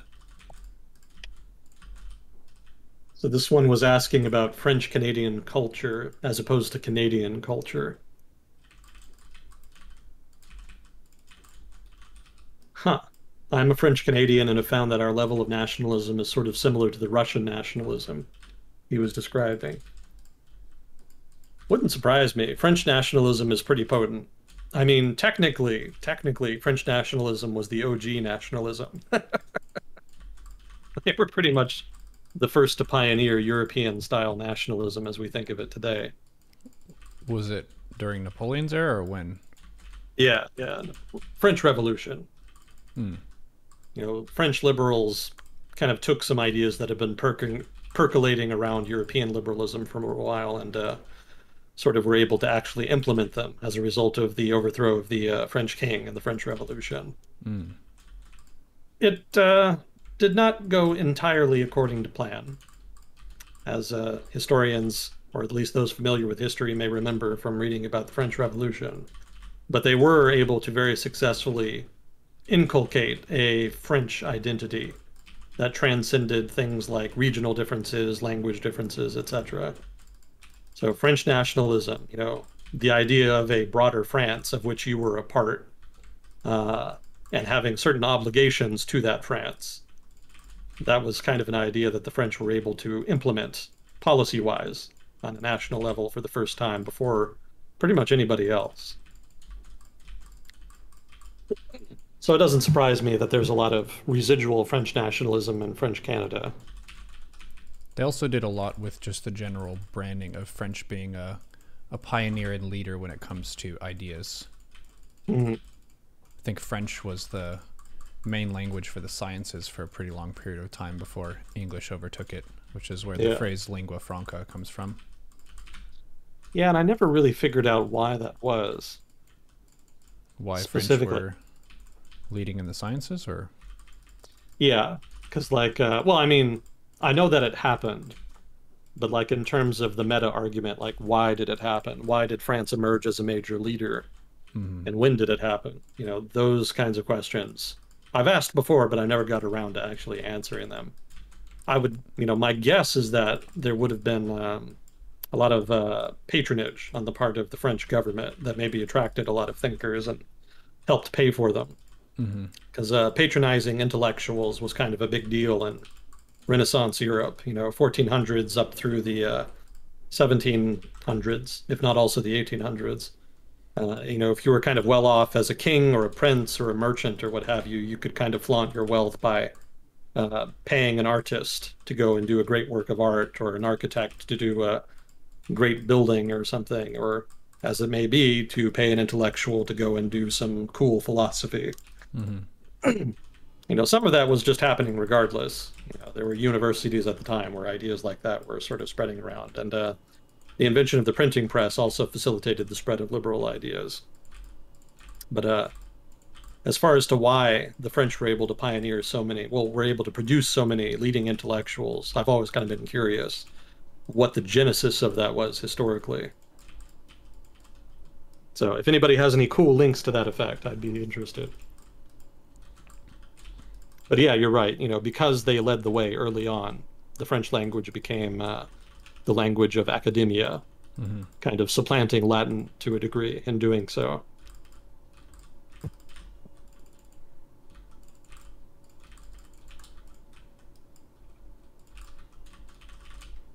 Trying to think of uh, French Canada here.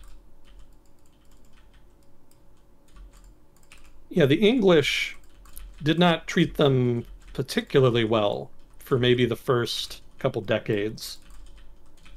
Because obviously France controlled it originally, but then the British took it in the uh, Seven Years' War. In dramatic fashion, I might add. The Battle of Quebec is uh, pretty wild. You know, if you know the geography of Quebec, that is to say, the city of Quebec, it's kind of up on an elevated uh, plateau almost. And on one side of the plateau is a sheer cliff, which is next to the river.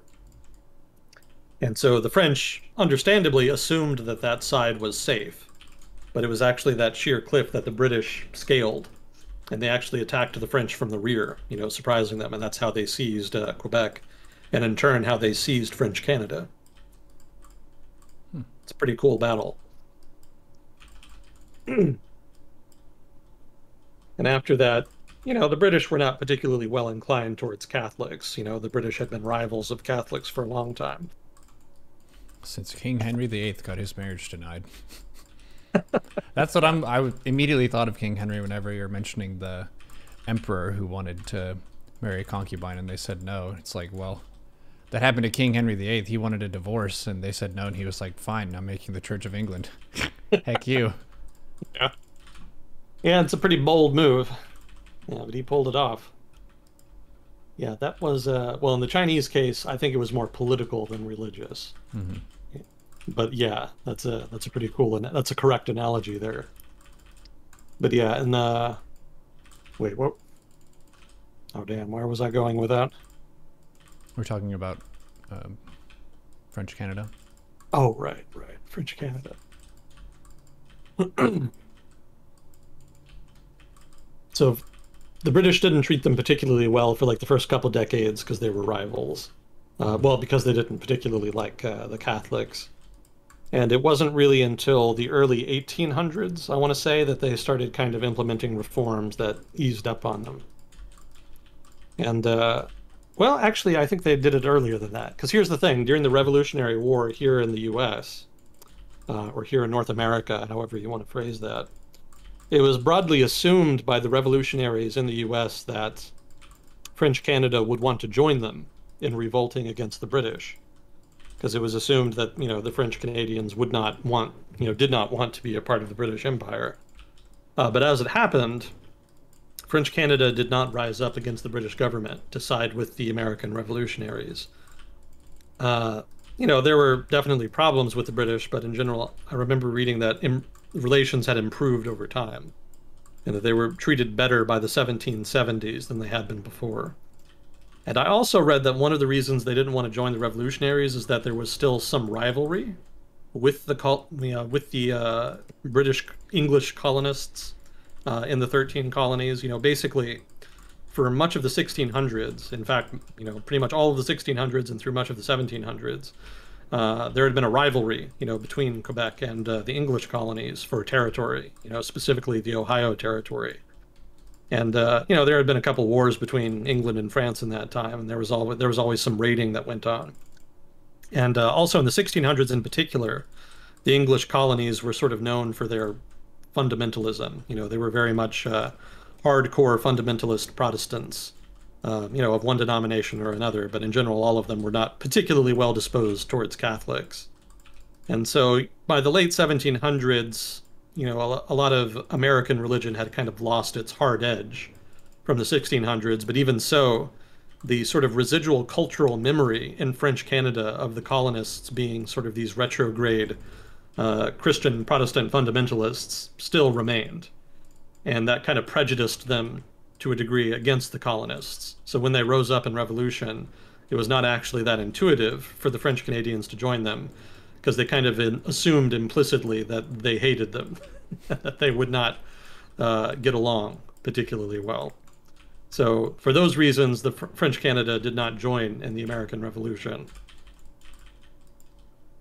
And there was actually a pretty nasty failed attempt by the revolutionaries to seize Quebec. They invaded French Canada, but ended up getting obliterated. They actually did it again in the War of 1812 but it failed miserably, even more miserably in the War of 1812 than it did in the, the Revolutionary War. Although, to be fair, in the case of the War of 1812, the uh, forces that had been arrayed to invade French Canada did not actually want to be there. Uh, a lot of the American military in the War of 1812 was actually comprised of state militias because the U.S. Army wasn't all that big. You know, it really wasn't big enough to be invading anybody. And uh, the trouble is that uh, the militia that was raised to fight with the army to invade French Canada was largely from the northeast, you know, which makes sense. That's where the border with Canada was, specifically French Canada.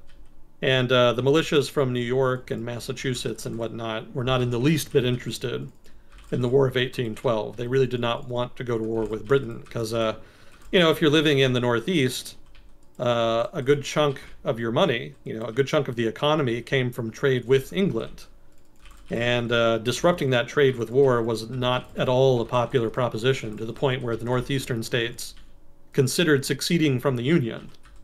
Uh, this was the first succession crisis in the young United States. And, uh, you know, it didn't end up working. You know, they didn't end up succeeding, but, you know, it just shows the degree to which people in the northeastern U.S. were upset. So, obviously, the state militias that were raised from that population were not at all enthused about invading Canada, and so their morale and uh, esprit de corps were very low, to put it mildly. And the result is that when the invasion actually happened, or at least was scheduled to happen, uh, a lot of those state militias basically just said, "We're not going." And the result is that the U.S. Army was not large enough, you know, in those regions to launch the invasion, and so they basically just had to cancel it. Yeah, that was part of a, uh, I want to say, three-pronged invasion of Canada that had been planned. You know, they were going to invade French Canada from around Lake Champlain in Upper New York, and then they were also going to invade uh, the Niagara Peninsula from both the western and eastern isthmuses. And I think the Niagara Peninsula invasion happened as planned, but it ended up being a disaster for different reasons. But yeah, people pretty upset about that. That you know the fact that a, a major invasion had to be pla- had to be canceled just because of militia opposition goes to show you how wild and woolly America was back in the day. Ah, we were gonna invade, but we faced some resistance, so uh, pack it up. so yeah, French Canada stayed part of the stayed part of Canada after that, and things were relatively quiet. And you know, reforms were implemented, Catholics got more rights, etc., etc. So you know, conditions improved, and uh, people didn't really complain too much. And I want to say, what I think the next trivia. I think the next trivia I remember about French Canada was uh, World War II, and maybe this was true for World War One as well. You know, maybe we have some French Canadians here who can kind of correct me. But uh, in World War II, the Canadian government faced pressure from Quebec not to draft French Canadians into the Canadian Army to fight in the war, and uh, the Quebec, you know, politicians were sufficiently powerful that the Canadian government actually agreed. So, as I understand it, there were no French Canadian soldiers drafted into the Canadian Army during World War II. There were volunteers, there were some people who fought. Uh, but unlike the English speaking population outside of Quebec, they were not drafted. And uh, I think partly that just had to do with uh, desire not to have to fight and die for the British Empire, for one. But I think also there was a particular desire not to get involved after France collapsed. I think that was kind of more their sentimental connection to the war. But again, somebody more familiar with the subject would know better than me, and I would encourage them to contribute in chat if they could. but yeah, that just illustrates that there was still some communal tension there. And uh, what the next thing this doesn't really matter per se, but uh, Charles de Gaulle visited Quebec in the I want to say the early maybe late 40s or early 50s, or maybe it was even during World War II. I don't remember. Let's say 1940s. And uh, he visited on a ship with a French flag on it. And the thing is, when you visit a foreign port, uh, normally you don't fly your national flag. Like, uh, I don't remember the specific details of this norm, but basically, uh, in nautical culture, that's kind of a no-no. You're not really supposed to do that. But de Gaulle sailed up the St. Lawrence Seaway on this ship that just flew the French national flag loud and proud, and it caused a minor diplomatic kerfuffle. Because uh, obviously, you know, France. I mean, I don't think there's a lot of irredentist sentiment in Quebec or France as far as reuniting together. Uh, but the idea that de Gaulle would just kind of sail up like he owned Quebec was somewhat disconcerting made some people unhappy in Canada. So that would have been roughly the 1940s.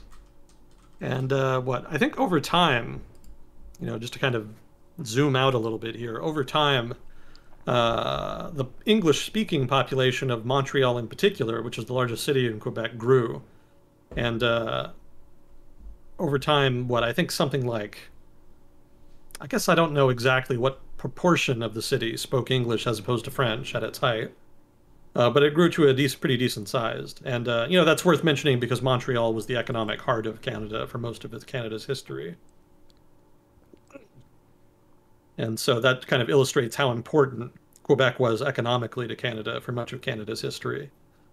Now, that changed in the 1990s. And what happened in the 1990s is that uh, separatist sentiment in Quebec kind of hit a fever pitch. Well, it's not just that separatist, sentiment, you know, kind of escalated. It was also that the Canadian government was more willing uh, to allow more separatist sentiment to proliferate. So between the two forces, the result was a referendum on independence for Quebec that was held, I want to say, in like 1995. And it failed very narrowly. It was like 52% or something that voted against independence. Oh. Yeah, and that was particularly humorous because something like 10% or so of Quebec's population is uh, English speaking.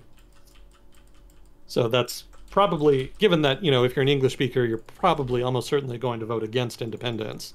That probably means that it was actually the English speakers that uh, kind of decided the referendum, you know, ironically.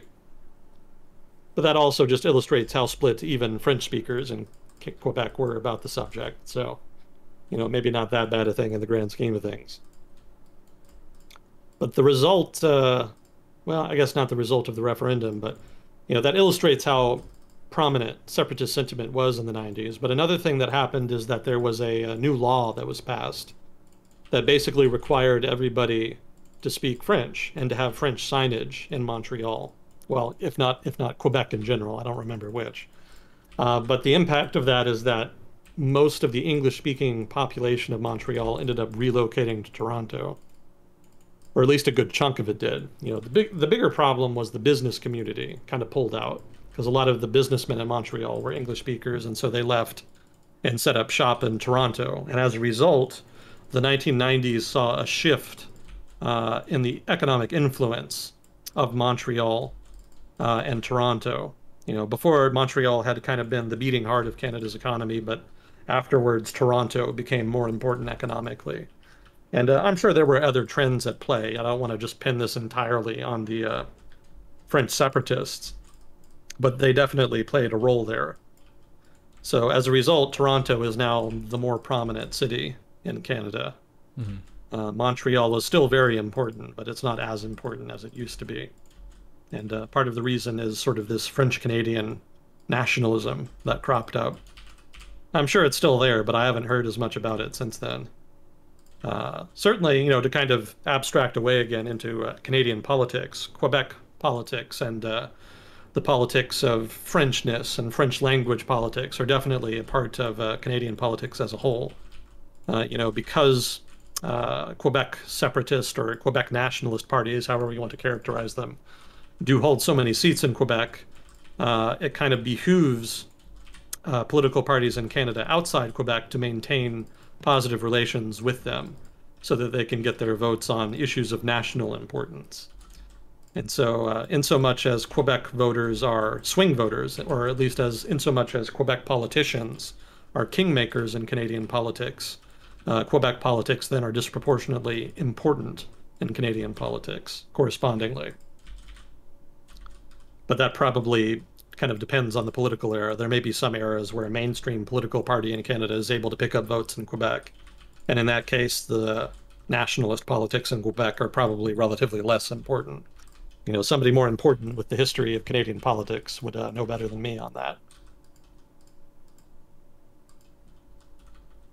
But I remember it being discussed in a YouTube video I watched, uh, I don't know, a couple years ago, I guess. Uh, the guy was kind of talking about how Justin Trudeau, obviously being a very progressive politician, uh, was a somewhat odd partner for some of the nationalist, conservative, Quebecois separatist politicians, whom he kind of had to work with in order to get legislation passed. You know, in general, the French in Quebec are kind of similar to the French in France, in so much as they tend to be very assimilationist in their view of how to deal with immigrants. So, you know, they're very open to people traveling to Quebec, but you kind of have to become French. That's sort of their perspective. Mm-hmm. But that perspective is kind of at odds with the English perspective, you know, the more British perspective, if not also the American perspective, which is that you should be more multicultural and more tolerant and to allow people to express themselves and be different. So in that sense, uh, Justin Trudeau and his progressive, uh, polit- you know, his progressive style of politics is somewhat at odds with that French style of politics that's prominent in Quebec. Uh, but they still work together, you know, basically out of expediency.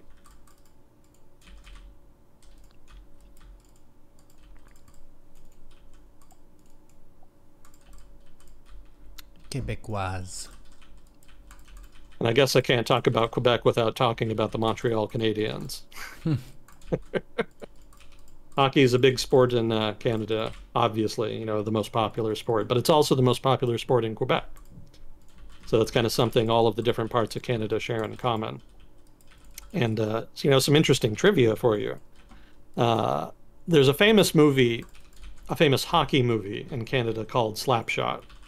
And it's something of a cult classic in Canadian cinema. And there's lots of, you know, movie references and whatnot that have kind of bled over into the popular culture. But uh, interestingly, when they made the movie, they of course made a French dub of the movie to release in Quebec. And the interesting thing about the dub is that they were very creative in how they adapted the English, uh, how they how they adapted the English script. Because they could have just done a very direct translation, but it wouldn't have really captured the meaning of the words, you know, sort of the meanings of the slang and the jokes and whatnot. And uh, so the translators took a very sort of expansive liberal approach, if you will, to the translation. And the result was some very creative language that has become very prominent in Quebecois slang. So Slapshot is not just important to Canadian culture in general, but it's also important to Quebecois culture because of that dub. You know, it's had an impact.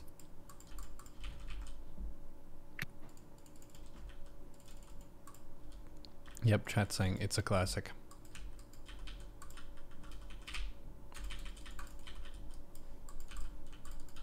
Yeah, I remember. Uh, I'm trying to think of some other Quebec stuff. I guess this isn't particularly coherent at this point, but I was trying to learn more about like uh, how French people in France think about Quebec. Uh, you know, culturally speaking.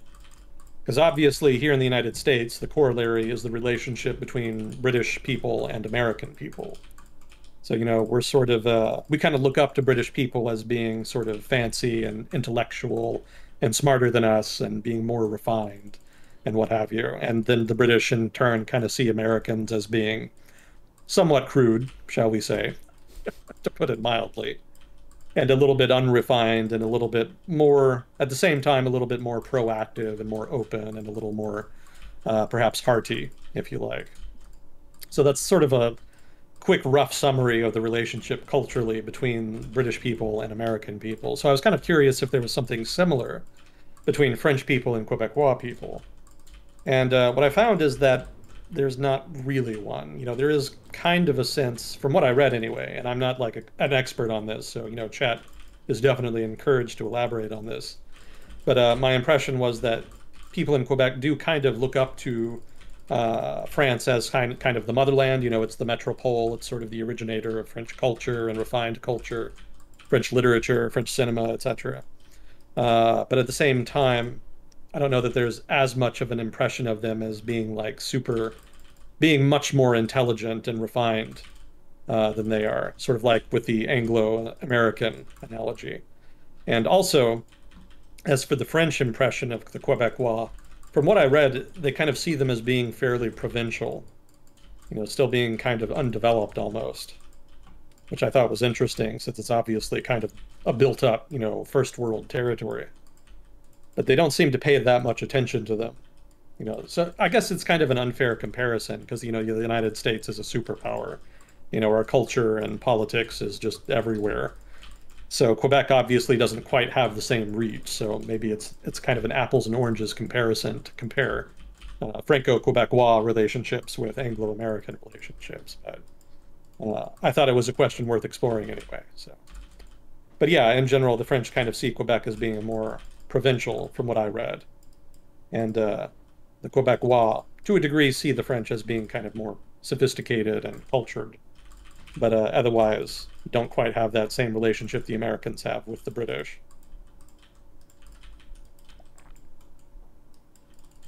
I think one of the reputations that the U.S. gets is that we love guns. That's one of our our things that is different from Britain's.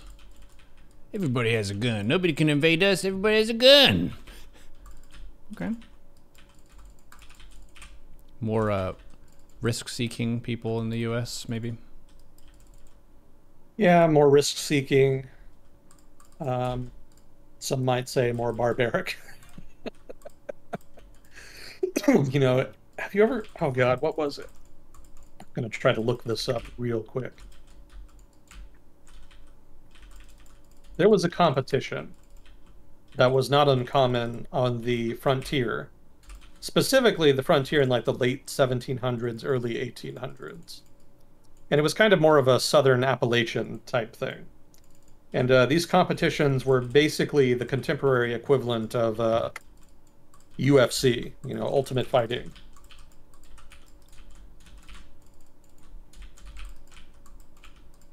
Yeah, I don't think I'm going to be able to find it off the top of my head here, but basically the competition was just no holds bar. Like there were no rules, like up to and including gouging out your opponent's eyes.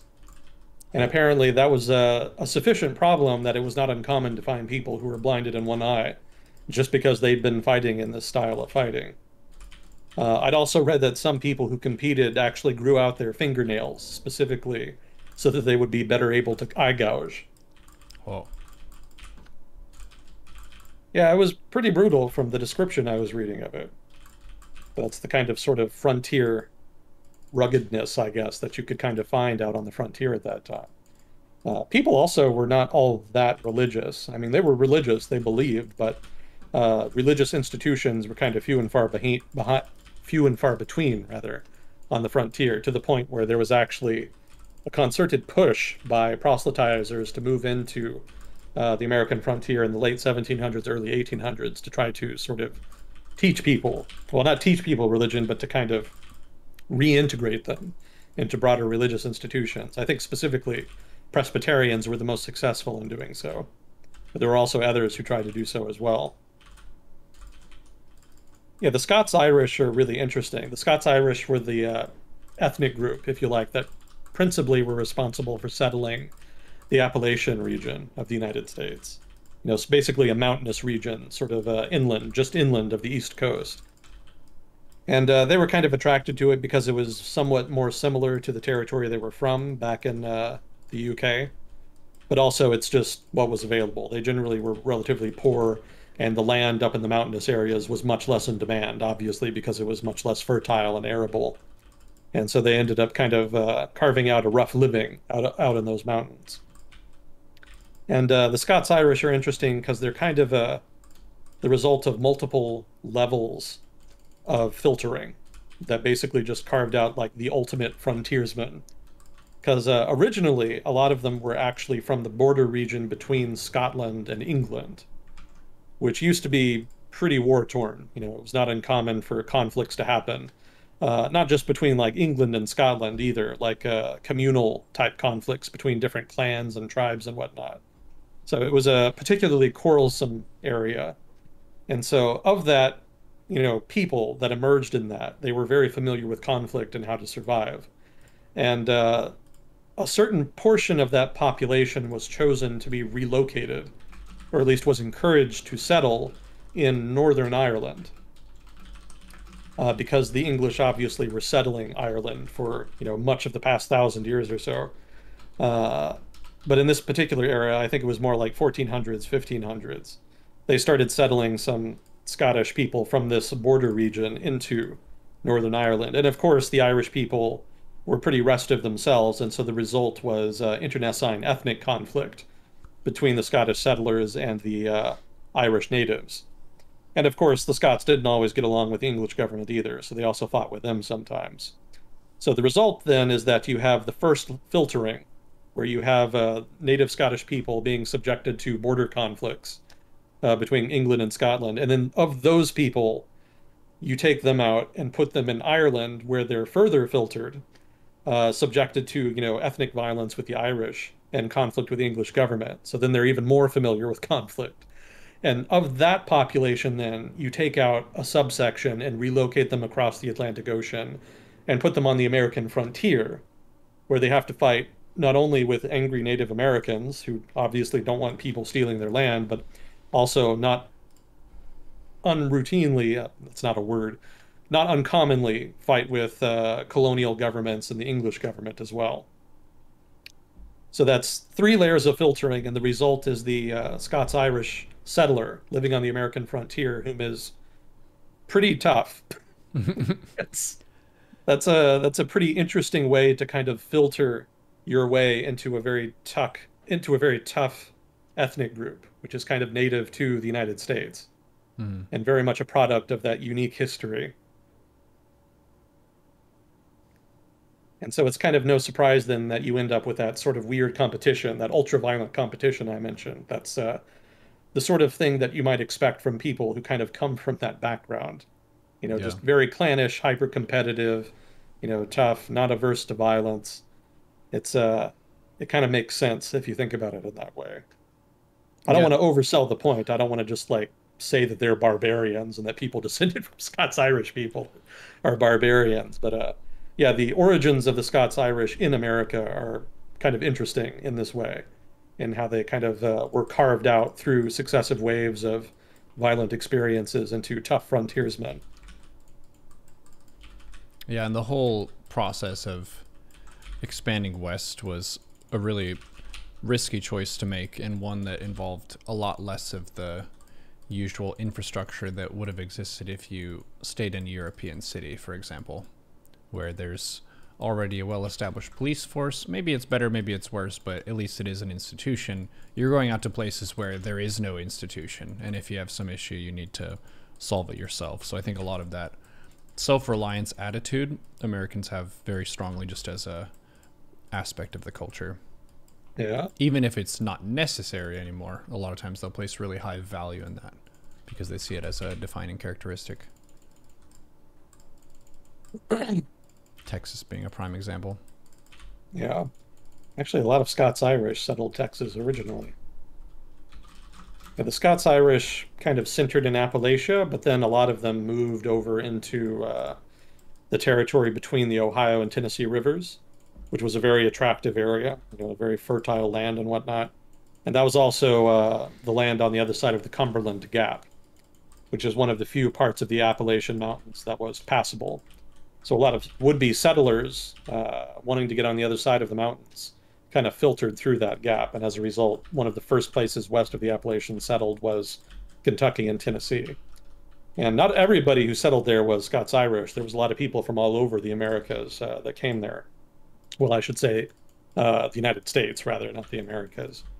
Uh, a lot of soldiers who fought in the Revolutionary Army uh, were paid in land, basically and uh, a good chunk of them ended up on you know over in Kentucky and Tennessee basically as compensation for their service.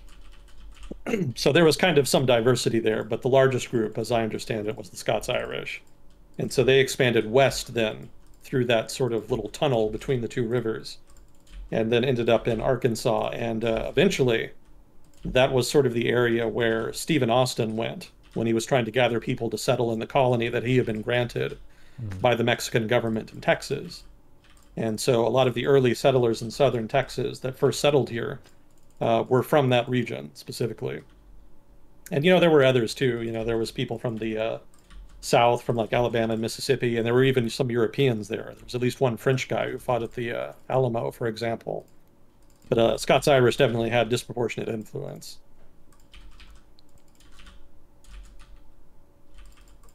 Yeah, the Scots Irish are kind of like, uh, well, I don't want to kind of single them out as like one of the only examples, but they're an example of the kind of people that are uniquely American. Like, obviously, everybody here kind of came from either Europe or Africa. But once they came here and lived here for, you know, generations, you know, for successive centuries, uh, the experience of living on the frontier and living in America kind of carved them into a new cultural group. And so uh, it's kind of interesting to kind of look at those groups and how they've emerged and evolved over time. You know, the Scots Irish being uh, one example, the one that I talked about, but also, you know, African Americans, for example, uh, or Midwesterners, for example, or, uh, you know, the Northeast US, which is kind of a, a little bit different because they've had like lots of different waves of immigration that have kind of uh, supplanted or merged with the pre existing population. Uh, so that's more about cultural merging than adapting to the land per se. Uh, but Midwest and uh, the South, definitely, you can kind of see that emergence of new cultures happening in response to the experience of living on the frontier and living in uh, the United States.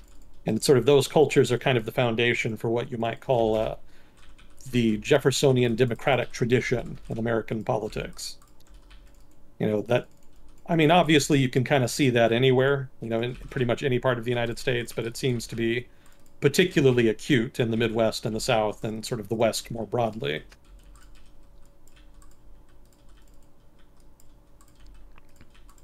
There were waves from different areas of the world as well. Like, wasn't there a a period where there were a bunch of Chinese immigrants to the U.S.? Kind of. There was a period where there was a lot of Chinese immigrants coming in. Uh, those were, uh, I want to say that was like the late 1800s or so. Because I think the Chinese Exclusion Act was like sometime between 1900 and 1910. That was when they basically just said no more Chinese immigrants. You can't come. Mm-hmm. Uh, so that was in response to an immigration wave from China. But I don't think it was nearly as big as the European wave happening at the same time. Right. Do you know what caused the Chinese wave? Or at least motivated it? So part of it was just development over in California. You know, they had the gold rush in the 1840s, and then they had railroad construction in the 1850s and 60s, all of which required labor. Uh, and there was obviously there was a labor shortage out there because hardly anybody lived there. You know, I mean, I guess there were some Native Americans, but they weren't particularly interested. Uh, so the result is that they had to kind of get labor wherever they could get it, and uh, Chinese laborers were one source of labor for the construction of infrastructure out west in that period. So that was kind of the pull factor.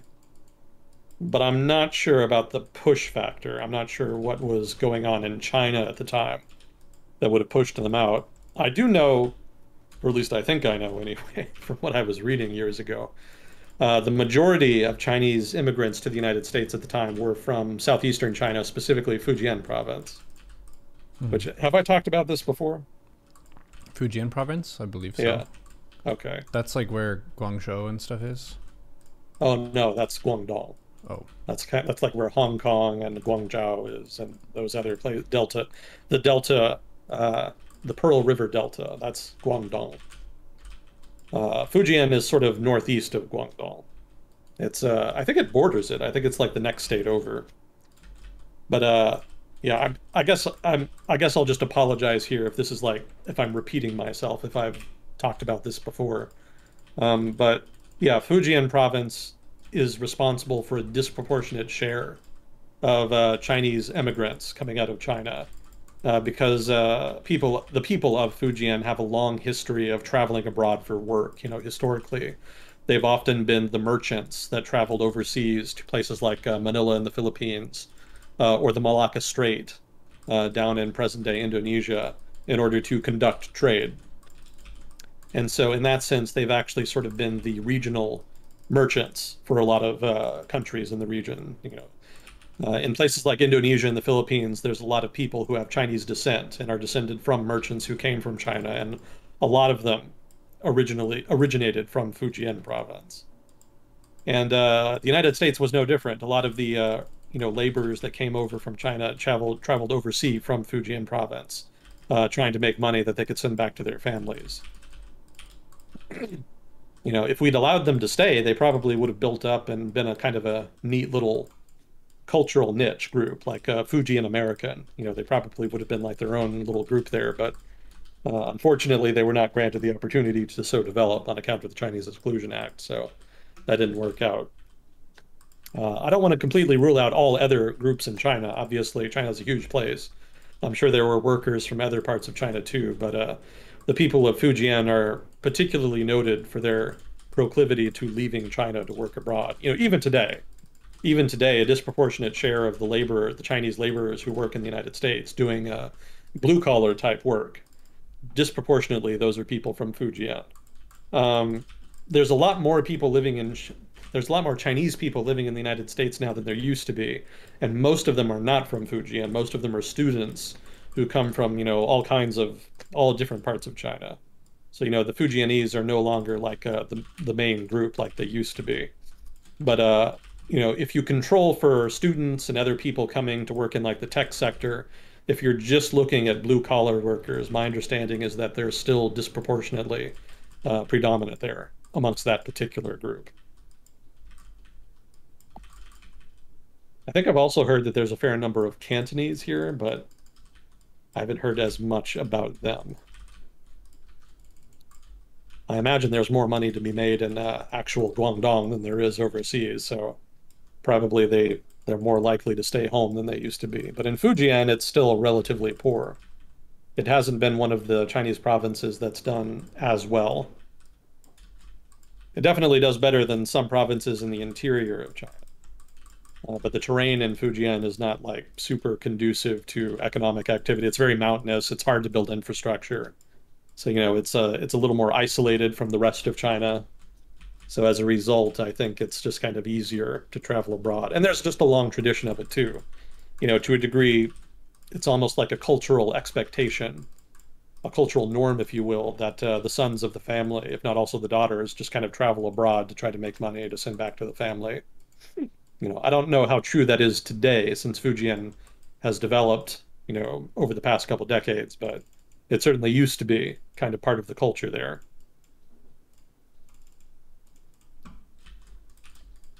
But yeah, basically, I don't know.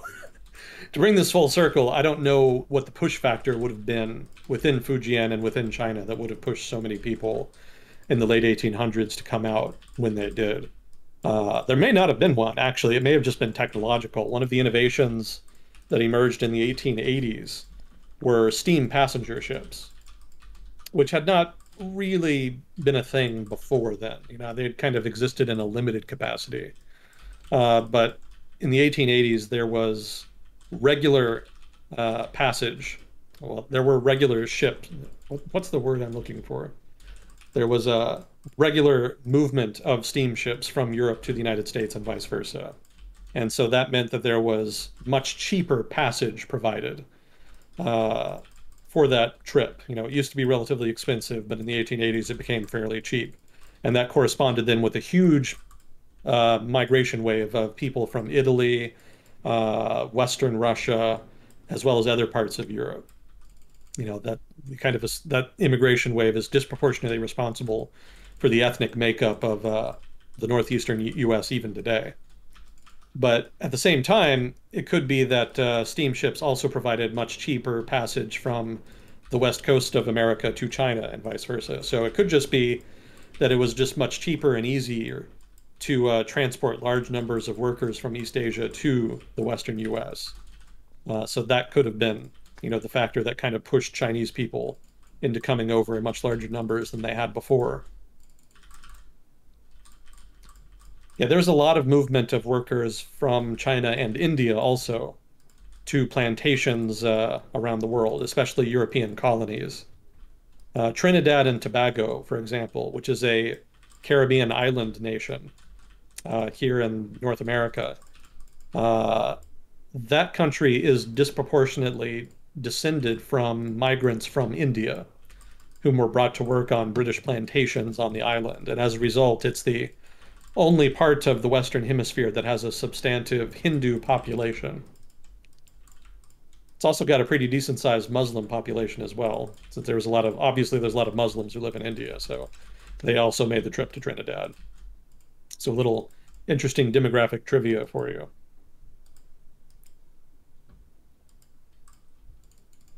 I did not know.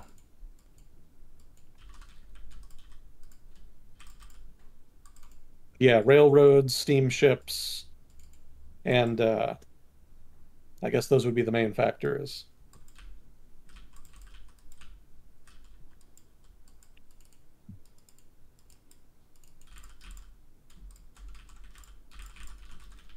Yeah, California back during the mid 1800s was a pretty wild place. You know, it was very isolated, it was hard to get to, there really wasn't a lot of reason to go there. So for a long time, it was very unpopulated. Obviously, it had very fertile land, so I guess I shouldn't say there wasn't any reason to go there, but you know, even as good as the land was, it was a long ass trip to have to make. And it was probably relatively hard to get your produce to market, given how far away the markets were.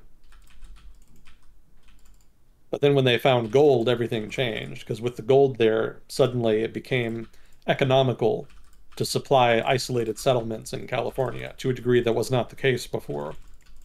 So there was a massive influx of people, capital, money, supplies, you know, just anything you can think of.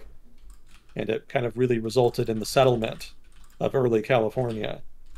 San Francisco, in particular, was basically the gateway, you know, into California for obvious reasons, you know, geographic reasons. And so, kind of way out in this isolated part of the world, you could you had what was in effect a modern city that just kind of popped up almost overnight. It's uh, pretty wild. You know. Settlement of the Western Hemisphere is a wild story, pretty much from beginning to end. any way you want to slice it, but that particular chapter, the settlement of California, and the emergence and creation of a modern city way out on the uh, west coast of the United States was definitely one of the interesting chapters.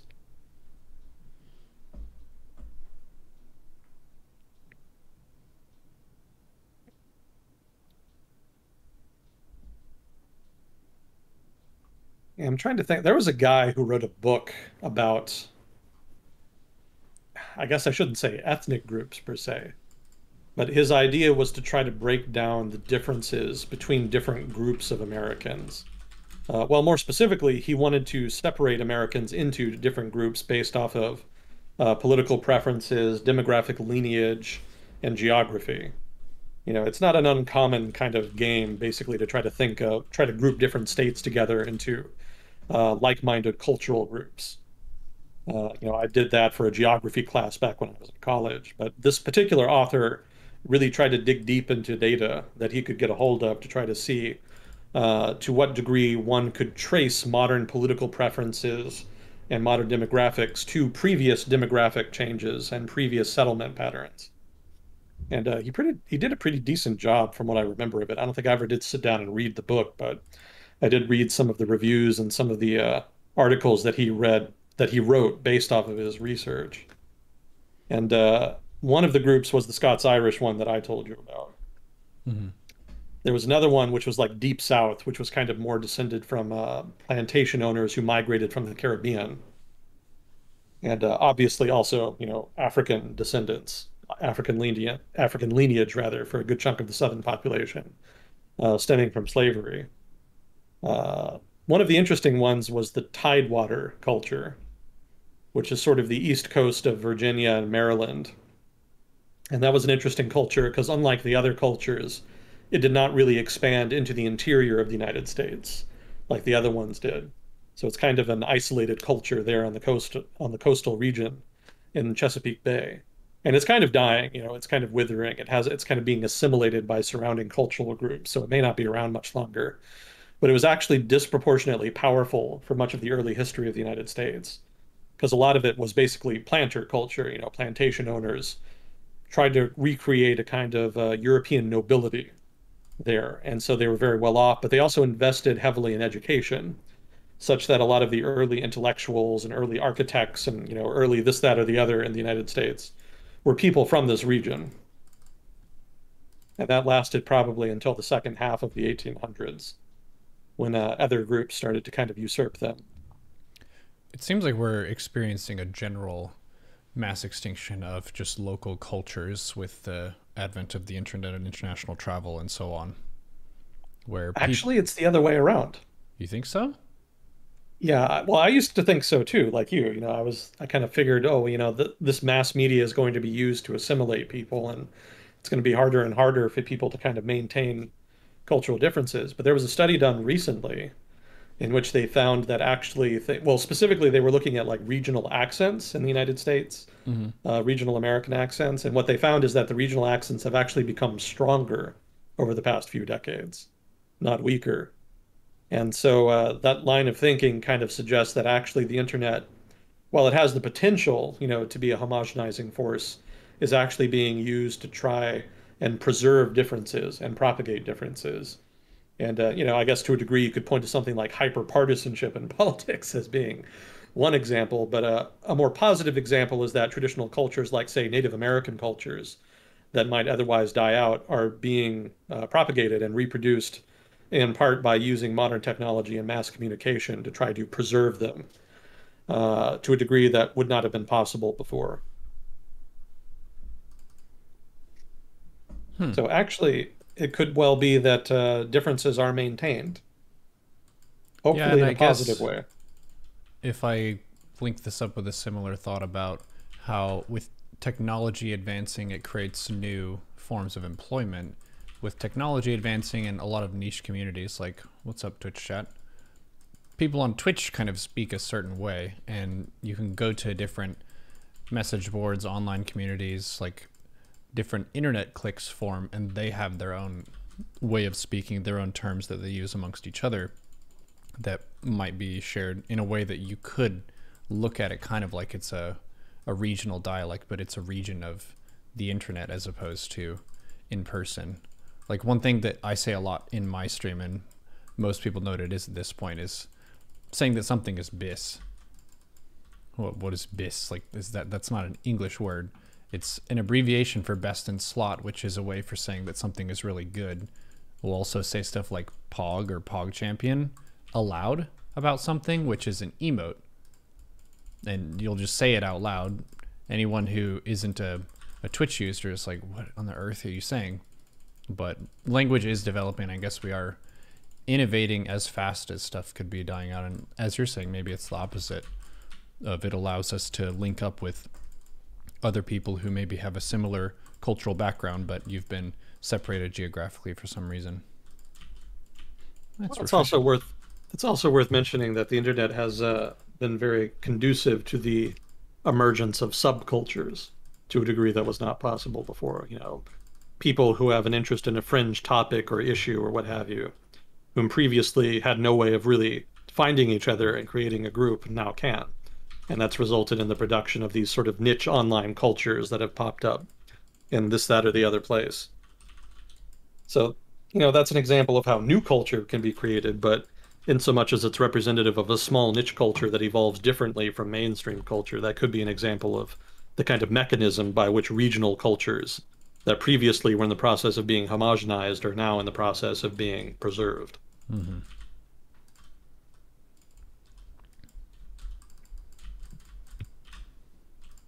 Pretty neat. Yeah, we live in strange times. It's refreshing too whenever your intuition leads you to think something and then there's just a data point that says the opposite. Yeah, I was pretty surprised myself. I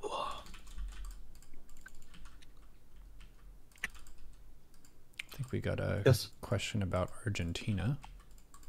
Yeah, I noticed we got a couple here. Moss is on the case. Thank you, Moss. Thank you, Moss. What's your take on the inevitability of decentralized finance? That's a big question. Yeah, we talked a little bit about that a couple weeks ago, talking about how, uh, you know, crypto, well, specifically blockchain technology, had the potential, and specifically new payment technologies, you know, payment processing technologies, had the potential to severely disrupt established finance. So I don't know how inevitable it is because it could be that the direction it takes is so disruptive that maybe established authorities uh, try to scupper it. but it could also be that the technology evolves in such a way that it's impossible for an authority to scupper it. So in that case, it really is inevitable. But I don't know. I'm not sufficiently familiar with the technology to really know just how easy it would be for a dedicated actor to disrupt it or render it inoperable. So you would have to talk to somebody more familiar with the technical side of the subject to get an answer on that. Certainly, there's a lot of demand for more decentralized finance, not least because there's a lot of mistrust of the authorities responsible for managing money in the economy. So, so long as that's the case, there's always going to be demand, and so long as there's always demand, there's invariably going to be somebody who provides the supply, in this case in the form of decentralized finance. You know, I think the real question as far as to how much this succeeds is going to be what merchants do. Uh, you know, institutional investors like major retailers, wholesalers, finance companies, banks, what have you.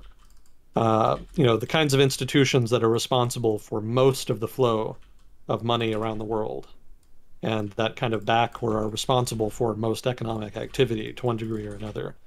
Um, if they get involved with decentralized finance because they see it as safer or more efficient or more profitable then yeah, in that case, it's definitely going to happen, and there's going to be almost nothing anybody can do to stop it.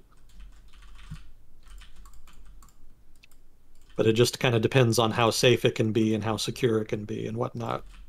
And yeah, I'm not sufficiently technically minded on the subject to be able to comment on that. I did see some stuff about the president or prime minister of El Salvador. He's like a he's like a full on crypto bro of like he's one with the gospel and this is the new way of the future and everyone should have crypto. We're gonna make a crypto city and we're gonna have crypto underwear. It's like everything crypto. And, kind uh, of. Yeah, I'm embellishing it a little bit, but he's very enthused about it, and there are some people who really are, and they believe that that is now the future of what money is going to be. Yeah. We'll, well you're see. right to embellish because he himself has embellished it. so that's the correct characterization.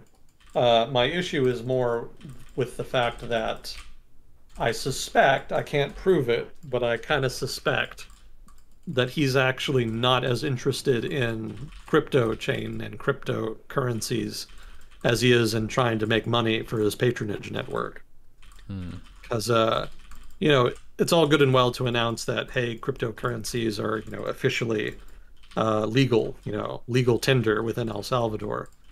Uh, the problem lay more with the payment processing app that was created in order to actually operationalize uh, trade using the cryptocurrency in question. Uh, guess who designed and owns that payment processing app? Someone he's involved with in some way? His brother. Oh. yep. Pretty close to home there. Yeah, it wasn't subtle. And, you know, that's the kind of sort of borderline corruption, nepotism that's not uncommon in a lot of Central American countries, if not, you know, Latin American countries in general. And, you know, we have it here in the U.S. too, but, you know, the elites in Latin America are particularly bold doing things like that. So that's kind of my suspicion as to what's really going on in El Salvador. You know, I'm sure there's merits to cryptocurrency being legal tender and for there being a national payment processing app that can help facilitate its usage, but also at the same time, political culture in places like El Salvador is not perhaps the most clean cut. You know, it's there's a fair amount of corruption, and political elites never waste any major opportunity to kind of take advantage of uh, potential, you know, ways to make money like this.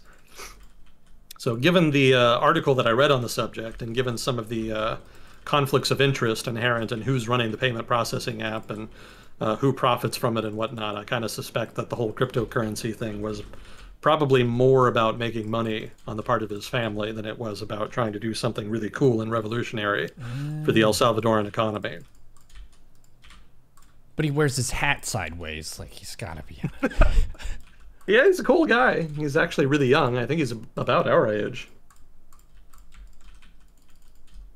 You know, I also read something interesting, and I guess this is kind of neither here nor there, but uh, apparently a lot of the political elites in Central America are actually Arab, which I had not been aware of. Hmm. Uh, apparently, they kind of came in in the past couple decades and uh, rose to prominence in the economy. They were originally like uh, economic elites. You know, they made they migrated as refugees or what have you, and then made investments, and then eventually became very wealthy. And then, of course, in Latin America, you know, becoming wealthy inherently pretty much means you become politically influential.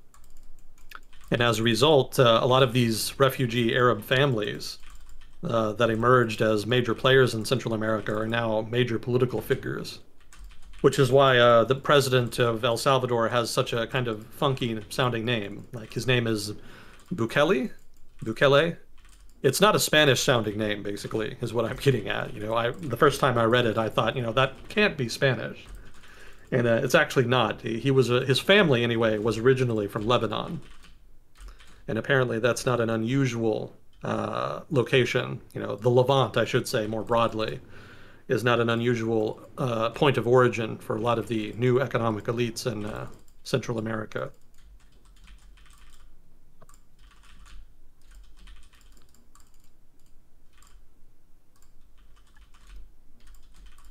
But yeah, cryptocurrency is kind of in the ascendancy right now. But kind of like what I said a couple weeks ago, I don't know that the blockchain technology or you know cryptocurrency in general is going to be what people should pay the most attention to, because the technology is kind of set. You know, it's been pretty much proven at this point.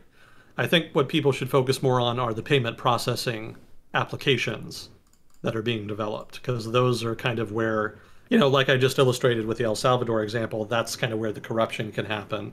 That's where the conflicts of interest can happen, and that's also where technical issues can happen. You know, if somebody wants to steal from your wallet, so to speak, uh, that's where you would do it. You know, you would kind of probably you would do it through the payment processing application, through which you interact with the currency that you own. So definitely keep your eye on that ball uh, as cryptocurrency and decentralized finance continues to evolve.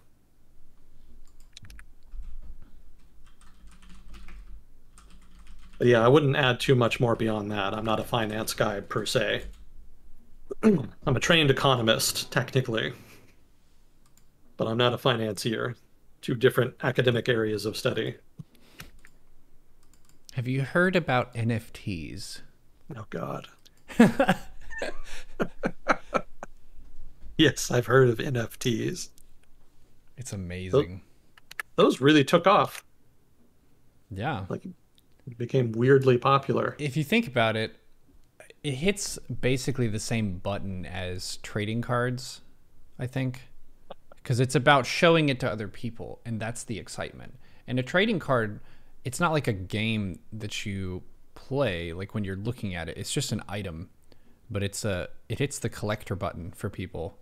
And you can kind of talk about it and fancy yourself like a connoisseur of these things that represent something else that don't really have too much inherent value aside from what other people decide it's worth and the value can get pretty crazy.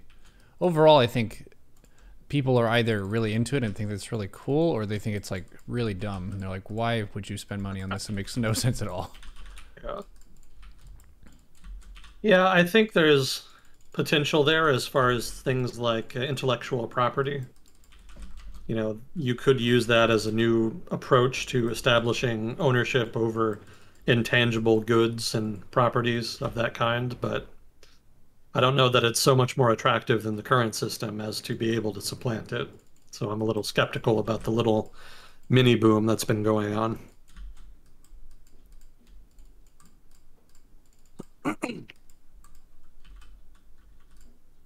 Let's see.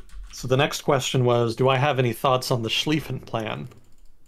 See, this is a history nerd's question right here. What what is the Schlieffen Plan? Oh, the Schlieffen Plan was the German plan for World War One that they had set up before World War One. Hmm. Yeah. So the question here was, I had heard initially that it was the plan leading into the First World War, but then later turned out to be false. Not sure what the case is, what what the case it as it is debated. Uh, well, that was my impression too. I, my understanding is that the Schlieffen Plan was the plan drawn up by Germany in the late 1800s uh, for how to deal with a two-front war between Russia and France. But uh, perhaps I'm not sufficiently familiar with the subject to be aware of the nuances. But yeah, you know, from what I'd read, that was the case. The Schlieffen Plan was basically that in the event of a two-front war, which, mind you, the German leadership did not expect to be able to win uh, the plan would be to focus most, if not all, of the German army on the French border and then invade France and knock it out of the war very quickly and early. And then to shift the army back to the Eastern Front, where they would then fight a climactic battle with the Russian army. Mind you, at this period, in this period of history in the late 1800s, the Russian army was thought to be one of, if not the most powerful in Europe. Uh, you know, this is kind of before warfare became super industrialized and mechanized, uh, as was seen in World War One. You know, people didn't really know what a modern industrial war would look like. So at the time, people were still kind of thinking in terms of raw manpower. You know, if you had the bigger army, you were more likely to win. That didn't mean you would always win, but uh, certainly it had probably it was probably the single most important factor. And uh, yeah, that being the case, the Russians, obviously being the most populous nation in Europe, had the inside track as far as to who could field the largest armies. So the Germans were very afraid of that. You know, sufficiently disconcerted that uh, they drew up this plan and that would allow them to focus their entire military might on dealing with the Russians. But it all hinged on being able to knock France out of the war early and also being able to kind of slow down the Russian advance in the east long enough uh, for the Western operations to conclude. So that was my impression, anyway, of the Schlieffen Plan, but maybe this guy has heard something different. Obviously, the Schlieffen Plan did not work out particularly well. you know, World War One saw the plan more or less implemented, and uh, yeah, they didn't knock France out of the war quickly, to put it mildly. But they did shock everybody by mangling the Russians. You know, to be fair, the Russians had a hard time in the war, partly just for logistical issues and because some of their officers were dipshits. Two of the generals that were, I think we might have might have talked about this even a couple weeks ago, but two of the generals that were leading the Russian invasion of eastern Germany at the outset of the war were rivals, you know, and they kind of assumed implicitly that they would steamroll the German army in Prussia, you know, in eastern Germany. And so they kind of spent more time competing with each other and trying to sabotage each other than they did on actually trying to win the war.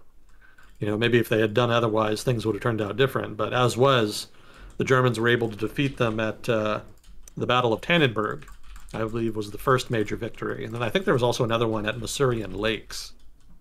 But maybe that was a different battle. I could be misremembering. This description makes me think very vividly about having guildmates for WoW fight on Discord, which causes people to be less effective because they don't get along. Yeah, well, officer vanity is a real thing, and it's not been uncommon throughout military history. Some guys are just more focused on the uh, glamour if you like, of being a major military figure. Well, it's less rather... about the result of how can we get this done efficiently and well, and it's how can I look good. Yeah. Unfortunately, so. Some of them pull it off. Some of them can kind of do both, be a good general and be an attention whore. but a lot of them don't. Yeah.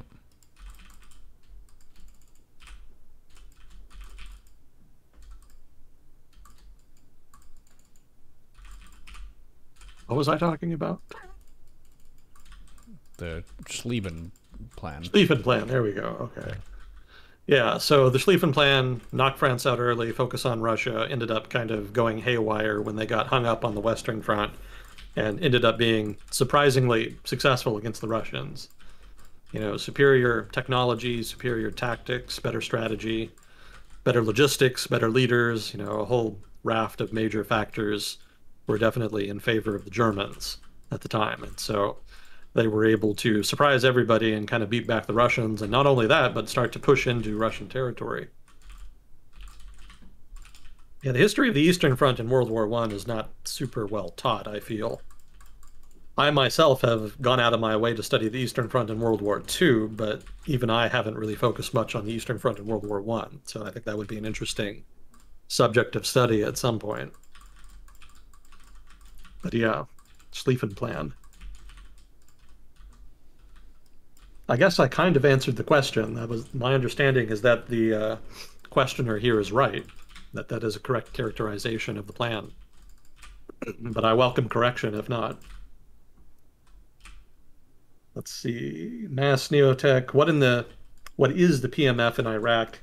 And how is Iraq handling itself in comparison to Afghanistan after the exit of U.S. forces? Saw this tweet earlier that made me think about it. Let me see. I'm looking at the tweet here.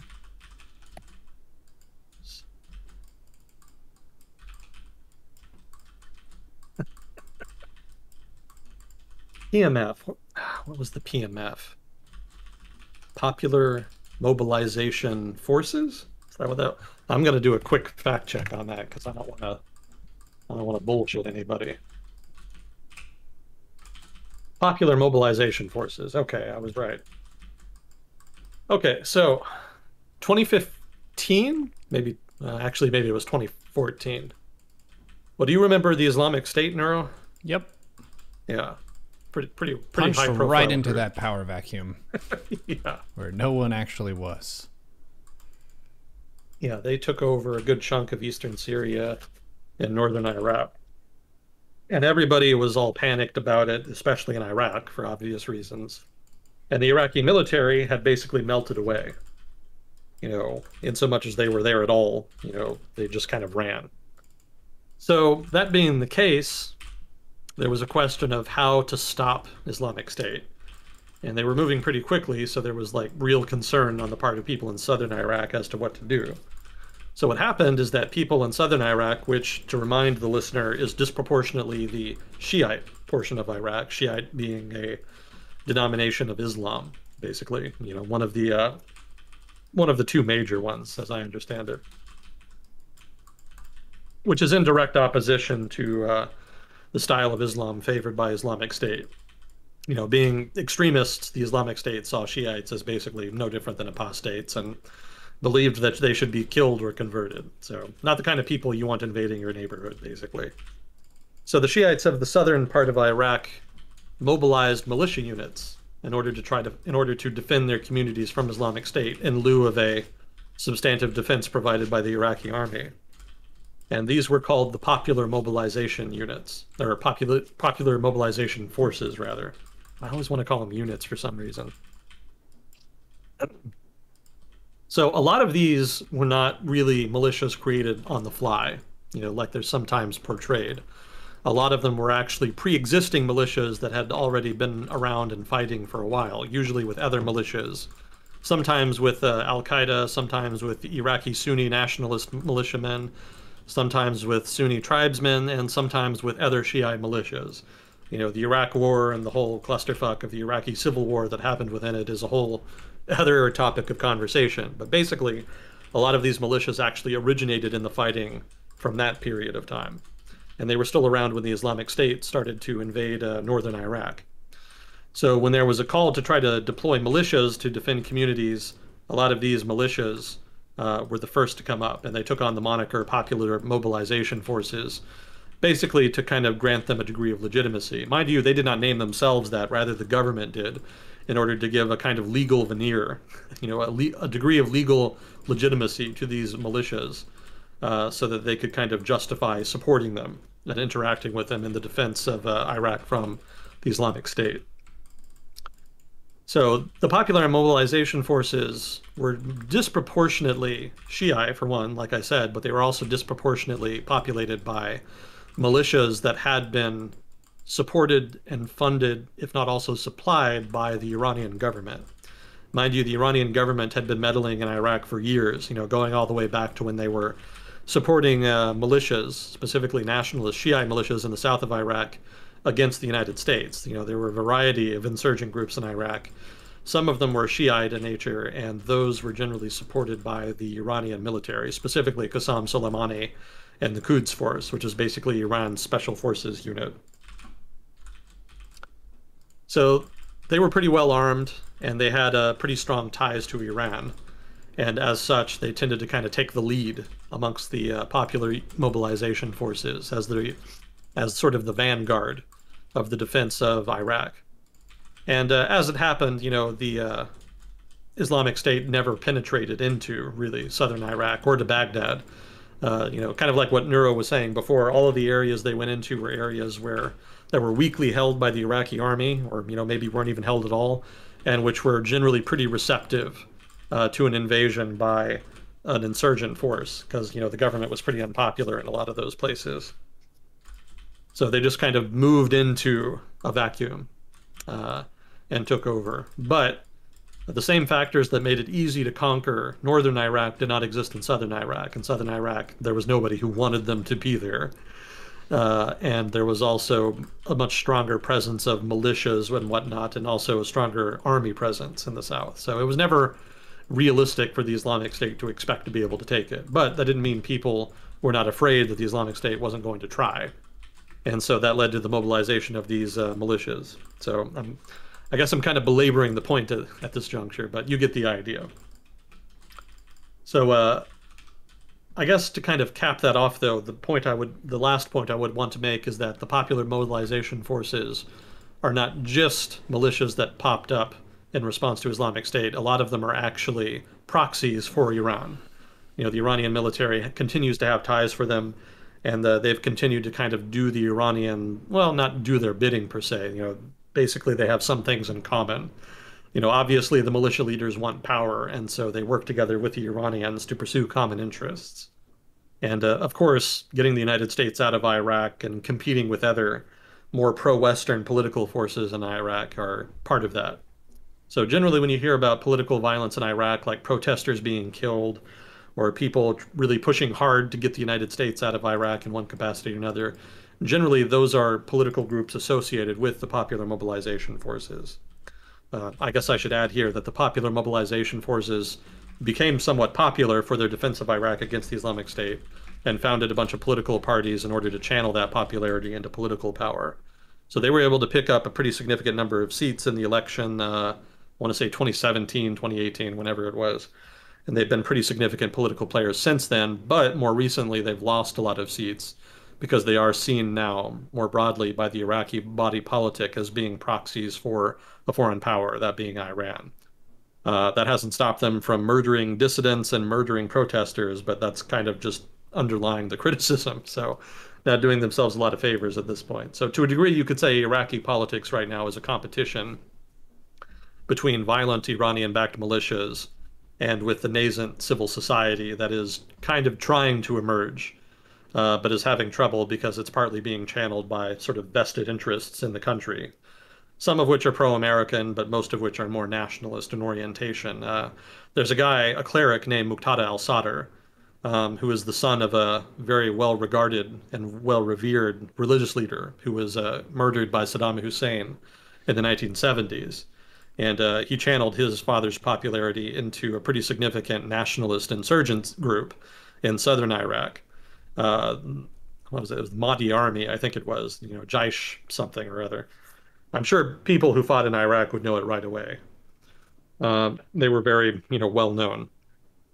But uh, he ended up running off to Iran for a while to focus on religious studies because he was afraid that his movement was becoming too hijacked uh, by Iranian-backed militias of one kind or another. And so he tried to separate his militias into ones that were loyal to him and ones that were more loyal to Quds Force. And uh, that kind of repaired his image somewhat in Iraq, to the degree that he was able to run as a nationalist politician and is now one of the leading nationalist politicians in Iraq next to some of the other Sunni politicians.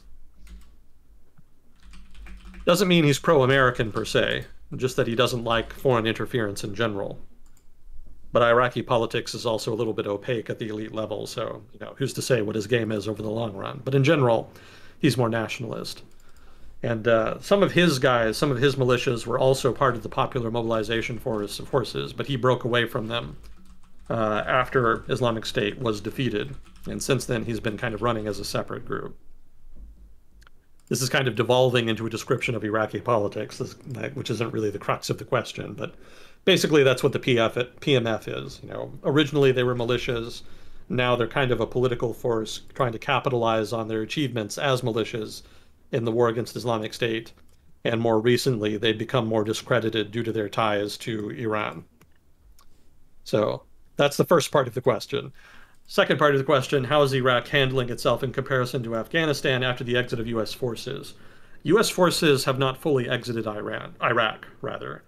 Um, technically, you know, formal combat troops, you know, uh, air assets, whatnot, those have left but the United States retains a relationship with the Iraqi military in the form of uh, advisors, training, some logistical support, and probably a significant amount of intelligence sharing.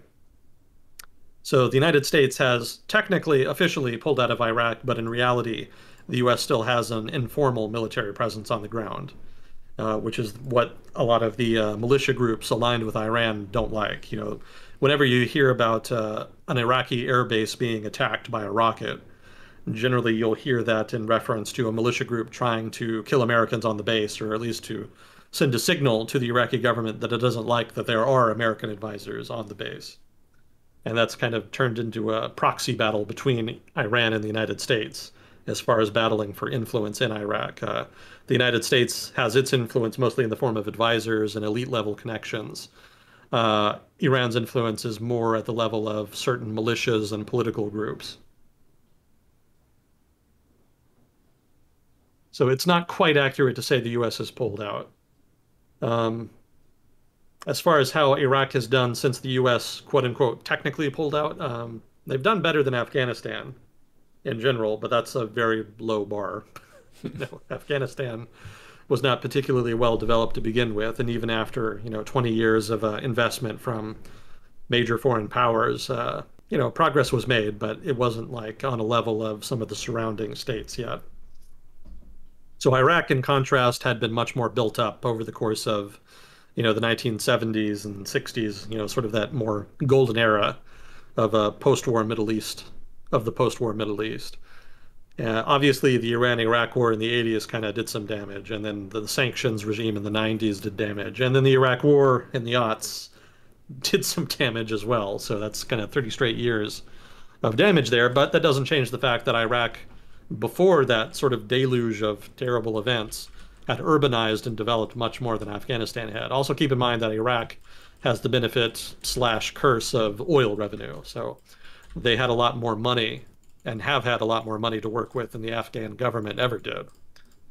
Uh, the trouble, of course, is that having a lot of easy money in that way, which kind of lends itself to corruption. So, you know, great temptation and whatnot.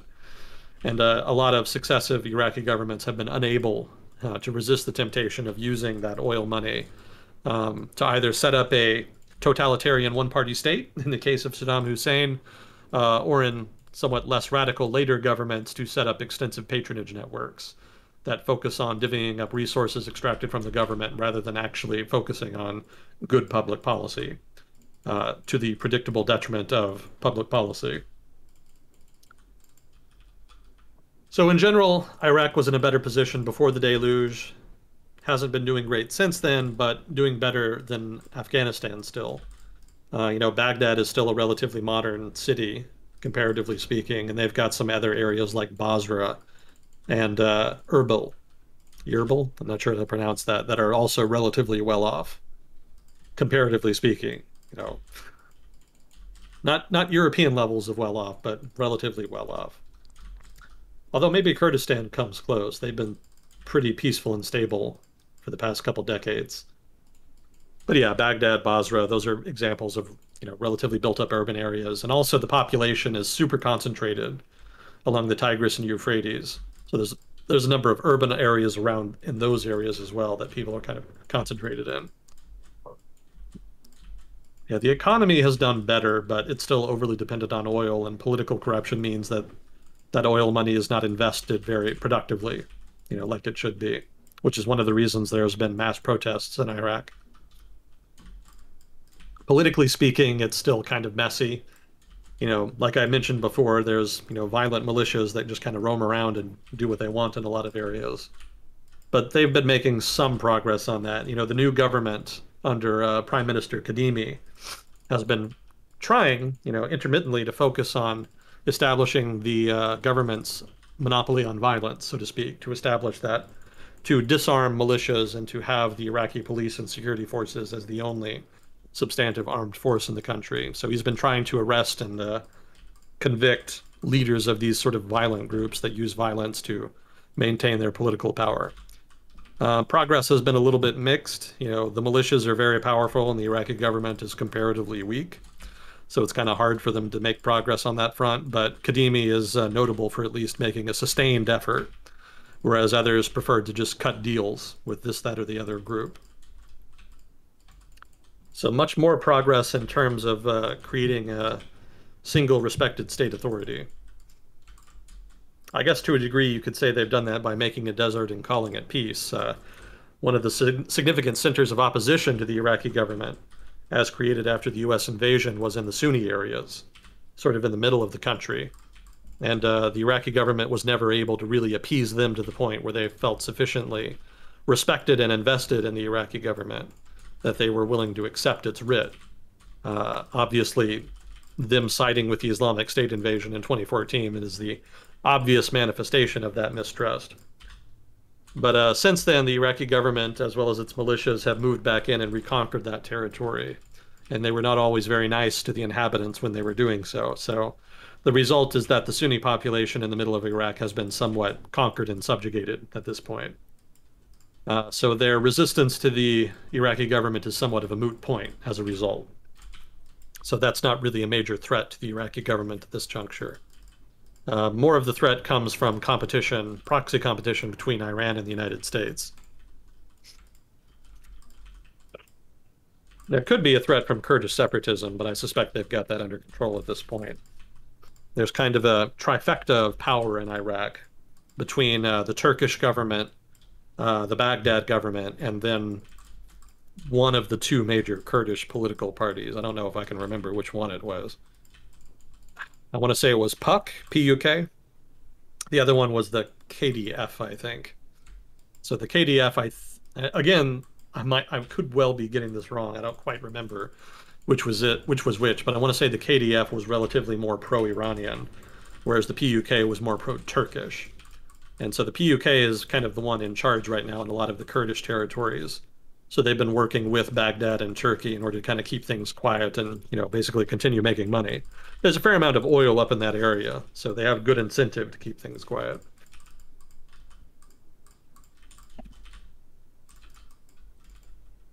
So that particular area of Iraq is doing okay. But the rest of it is just kind of roiling. You know, everybody basically you can say that uh, the story of modern Iraq is the story of trying to form a new state after in the wake of the US invasion in 2003. That's very much kind of been the common theme through the past, you know, 20 some years. So that's uh, very much still a process kind of evolving right now. Um, it looks really bad. so I can't really blame people for not being impressed with it. But I think it's remarkable to note, well, maybe not remarkable per se, but it's notable uh, that the experiment has not just been outright abandoned. You know, it would have been probably much easier by this point to have had a strong man just seize power and establish a dictatorship and try to impose uh, order by force, basically. So the fact that that has not happened lends uh, some credit you know, to the body politic of Iraq and their desire to try, at least, to make a democratic Republican society work. Democrat, that was kind of redundant. To make the Iraqi Republic work, that's what I meant. So hopefully that experiment can reach a successful conclusion sooner rather than later. Um, you know, it's kind of an interesting experiment if you ignore the uh, context context in which it originated. So best of luck to them. But uh, yeah, that's just kind of that's a rough summary of where Iraq is after the U.S. pullout, such as I can remember it. It's just still violent and unstable, but kind of trending better in general.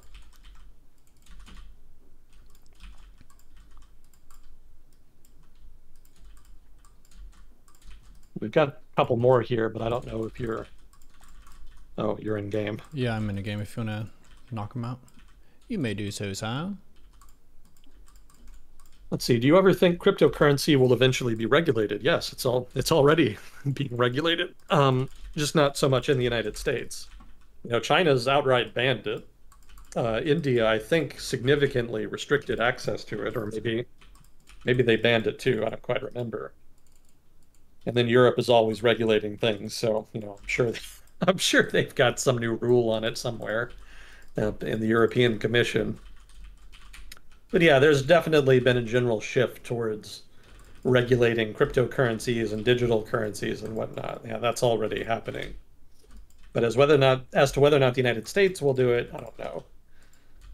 Uh, we'll see what happens. It could be if there's a, you know, one of the things that happened after China banned cryptocurrency, which included a ban on crypto mining, mind you, is that a lot of Chinese crypto miners actually moved to Texas uh, the idea being that electricity was relatively cheap here and that there weren't any restrictions on crypto mining. So this was somewhat alarming to some people, given that uh, electricity shortages were one of the problems Texas faced in the big freeze last year. So there was some concern maybe crypto miners would eat up so much electricity that if there were another big freeze, uh, then you know the whole grid might fail. But I don't think anything's come of that fear as of yet. So we'll see.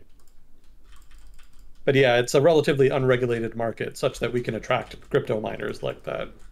And that unless there's something major that happens, you know, maybe like a major electrical grid failure, I don't foresee significant regulation pending as of yet. You know, I think it's more likely they would regulate it if there was some kind of major financial crisis. You know, in that case, uh, crypto may act as a uh, exa- it may act to exacerbate whatever financial problem is uh, occurring. So in that case, there may be some emergency restrictions of some kind placed on cryptocurrency. Uh, I don't even know how that would work at a technical level because I know the whole point is that it's decentralized. Uh, but there may at least be an attempt to regulate it anyway under such circumstances.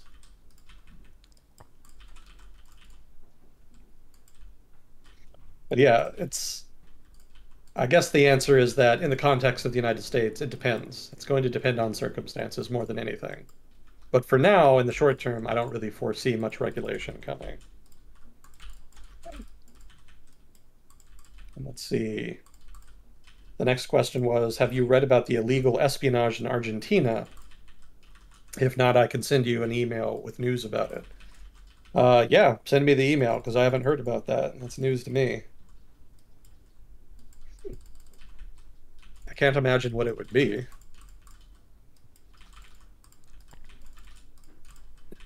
I think this was mentioned to be in chat during the week.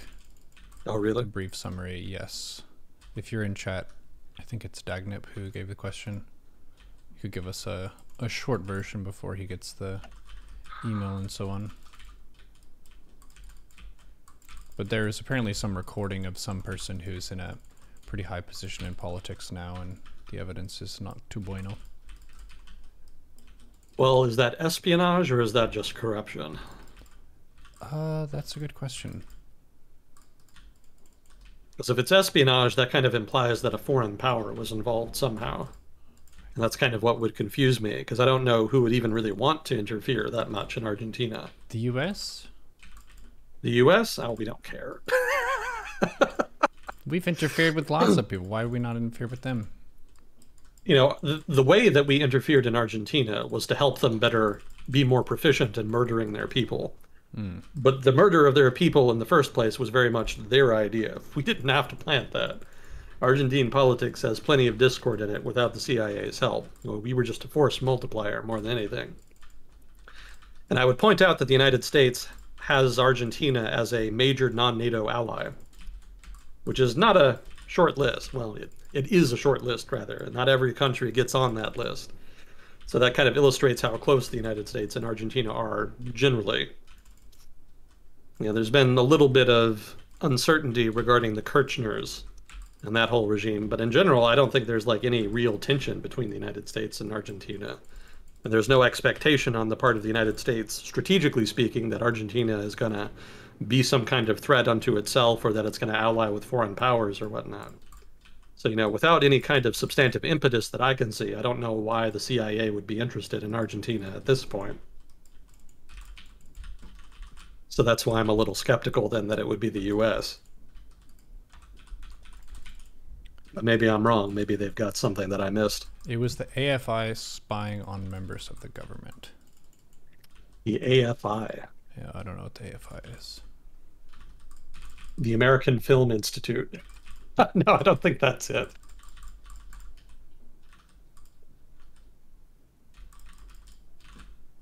Uh, let's see. Federal. Oh, that's like their FBI.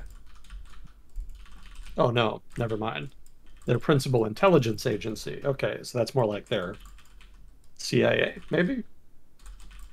Well, in the United States, it's a little weird because we have uh, a whole bunch of intelligence agencies. So the CIA is responsible for activity outside the United States, and the FBI is responsible for activity inside the United States. So we don't have a single intelligence agency per se. But I understand that some countries do. So I guess this is one of them. So let's see. So then this intelligence agency was spying on leading politicians. And just trying to dig up dirt on them? Or were they uh, doing it on beat at somebody's behest?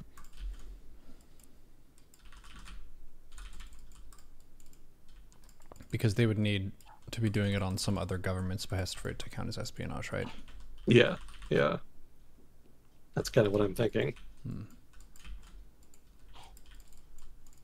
Yeah, I think I remember reading a similar story like this. Or maybe it was this story. It's been too long. Yeah, there was an intelligence. No, South Korea. That's what it was. South Korea's intelligence agency got in trouble because they were collecting information about uh, left-wing politicians, and there was a big giant kerfuffle over it in Korean politics. This was a couple of years ago, I think. Yeah, so I think that's the case I'm remembering. So I'm not sure about this one, but yeah, I'd be you know grateful to receive uh, information on it. You know, if you've got any links or anything. I think my email is down there somewhere. Uh, what was it? John TX 1848 at gmail.com. Yeah, if you use the who is it command, it's linked in there. Who is that man talking on the stream? Why is news so silent? Is it a podcast? Oh. My allergies are starting to kick up.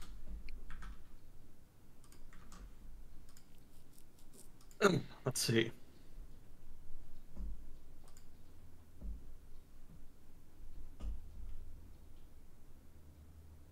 All right, so there's that. The next question was Do you think that the US monetary policies will cause the dollar to crash? And if it does, do you think it will lead to a war with other power nations? No, I don't think so as of now, anyway. I think, uh, you know, there's obviously been an immense amount of monetary expansion. Uh, but I guess two things to keep in mind. One, the US economy is just really massive and it has an immense capacity to absorb uh, demand. You know, there's the whole mystery about missing inflation, for example, so that kind of plays into it. I know some people will say, well, you know, the inflation is there. It's just that it's focused on fixed assets like, you know, houses and stuff like that. But that still doesn't explain uh, why there's why there was not anyway a significant increase in the uh, consumer price index. You know, there should have been technically, you know, according to uh, orthodox theory, but it kind of didn't really happen uh, after 2008 anyway. And we've only really started to see it now but even now it's not entirely clear cut because we've got so many uh, negative externalities as far as supply disruptions that it's kind of hard to tell the difference between uh, demand driven inflation and supply restricted inflation. So tricky business. But yeah that's one reason that i'm not too worried about it. And then another reason uh, is that the united states is not the only uh, economy that has seen a significant increase in money supply. Uh, you know, pretty much everybody, you know, every every country around the world responded to COVID nineteen with a uh, loose monetary policy. And so, because everybody did it at the same time, it's kind of hard to see who basically would. Uh, you know, it's kind of hard to see the United States losing ground to other countries, given that they did the same thing. Uh, that's not to say that there might not be a problem. You know, there could have been a bubble inflated somewhere that could crash, or you know, who knows? You know, the economy is so complex now; it can be hard to kind of figure out all the interrelationships necessary to understand what's going to happen. Uh, but you know, that said, in general, I don't think the U.S. dollar is going to depreciate so much in response to uh, the current monetary policy relative to other currencies specifically because those other currencies underwent the same treatment, basically. Now, it could be, and there's an argument to be made here, that uh, there's a global liquidity glut, not just the United States, but the entire planet, and that there's just way too much currency rolling around right now, and that there could be a kind of global shift away from currency because it's seen as being devalued and towards things like gold or other commodities. So if there were a crash, I suspect it would probably look more like that. So I don't expect that to be a problem per se. uh, you know, it's anybody's guess as to whether or not it could actually become a problem, but at least for now, I haven't heard anybody seriously predicting that. So for the moment, anyway, I'm not too worried about it.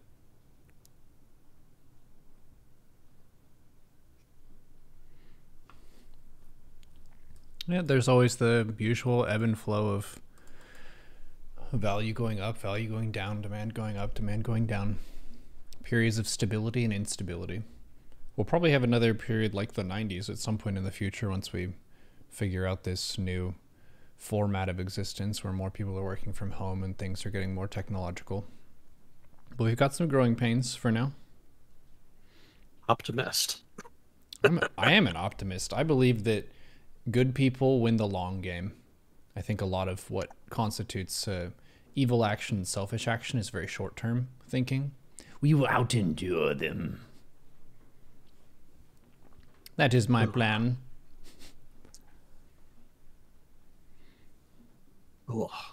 Excuse me. Yeah, you did a nice three hours fifteen today. Agent Smith with the carry. We hit Russia, talked about some regions. If there were any Russian viewers from the YouTube video or in the chat now, feel free to give some comments on your perspectives. We were just talking about some of the different regions because we're both from the United States, and anyone who's from a different country is generally going to have a, a more narrow view of a country. And a country as large as Russia has a lot of different regions that are pretty distinct and unique and interesting in their own way. So if you have anything to share about that, feel free. Talked a good bit about uh, French Canada, Quebec, and the Quebecois. Hit South America a bit, Eastern Europe. Talked about French influence. We've been around today. Well, there was one more question, but I don't know if we have time for it.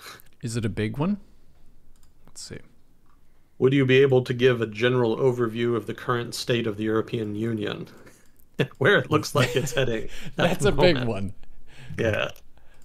Yeah, that might take a little bit of time. We might save that for next time. Agent Smith, do you have a Brexit update for us? Can you give a general overview of Brexit? Oh boy. Whenever you said referendum was 52%, I immediately thought Yeah. Brexit. Yeah, that's kind of the uh, go-to example for me as far as badly planned referendums. Yep. Certainly a consequential one. Don't worry, Zormito. I'm going to upload this right away, post haste. Agent Smith, thank you so much for coming on. Moss Neotech, thank you for stepping up and handling questions. And thank you, chat, for helping us out with them. If you have any corrections of what we talked about or suggestions of topics for next time, feel free to share in the comments, as this is an active dialogue. And if we are wrong, please help us. We don't want to be spewing misinformation. That's nasty. A Happy New Year, though. I've been thinking about 2022, and I've been telling people that I think that we can just punch this year in the face. Because last time we went into 2021 like hoping that it was going to be a good year. I don't think that worked. I think we should we should expect it to be bad, and just to be prepared to just punch right through it. That's my mindset. Strong opener. Yes. There you go. Just Agent Smith. dominance. Agent Smith is about to drop kick the challenges that face him this year. I'm stoked. I don't know if I have the uh, lower body strength to do a jump kick. If you keep doing your regular walk, you will. There you go. Yep. Well, thanks for having me. Uh, it's a privilege as always. Much appreciated. It's good talking to you again. And uh, Happy New Year, sir. Hell yeah, Happy New Year, and we will see you on the next episode of World Discussion with Agent Smith. Smith. Yep. See you next time. Smith. Smith. Thanks, Agent Smith. Chat, y'all have been very enthusiastic about him. It's pretty cool the the way that his name has expanded and grown on Twitch to where I got asked we hit a milestone this week. I know a lot of people will like they'll post a tweet of like, I got this many followers, whatever. There was a personal milestone for me in being critically annoyed at being asked when he's gonna be on next. When is Agent Smith? When is Agent Smith? When is Agent Smith? Command add Agent Smith when? Agent Smith is generally on at 6 p.m. Pacific time on Sundays. We're pretty consistent around that time frame. Sometimes we start at 5:30, sometimes it's at 6:30, but we usually start around then and we usually go for about 3 hours. So if you want to catch us live, you can do that. If you have any questions but you can't catch us live, say it's the middle of the night for you, you can leave a YouTube comment because he does look at those. So fire away with your questions because I think a big part of the content that happens on this segment is just what people want to ask him. So thank you very much, Agent Smith and chat, for helping us put on a consistent and awesome segment. We haven't kept count of how many Agent Smiths we've done, but this has been running for years. And that's badass. Big ups, yeah. And we will see you on the next one. GG.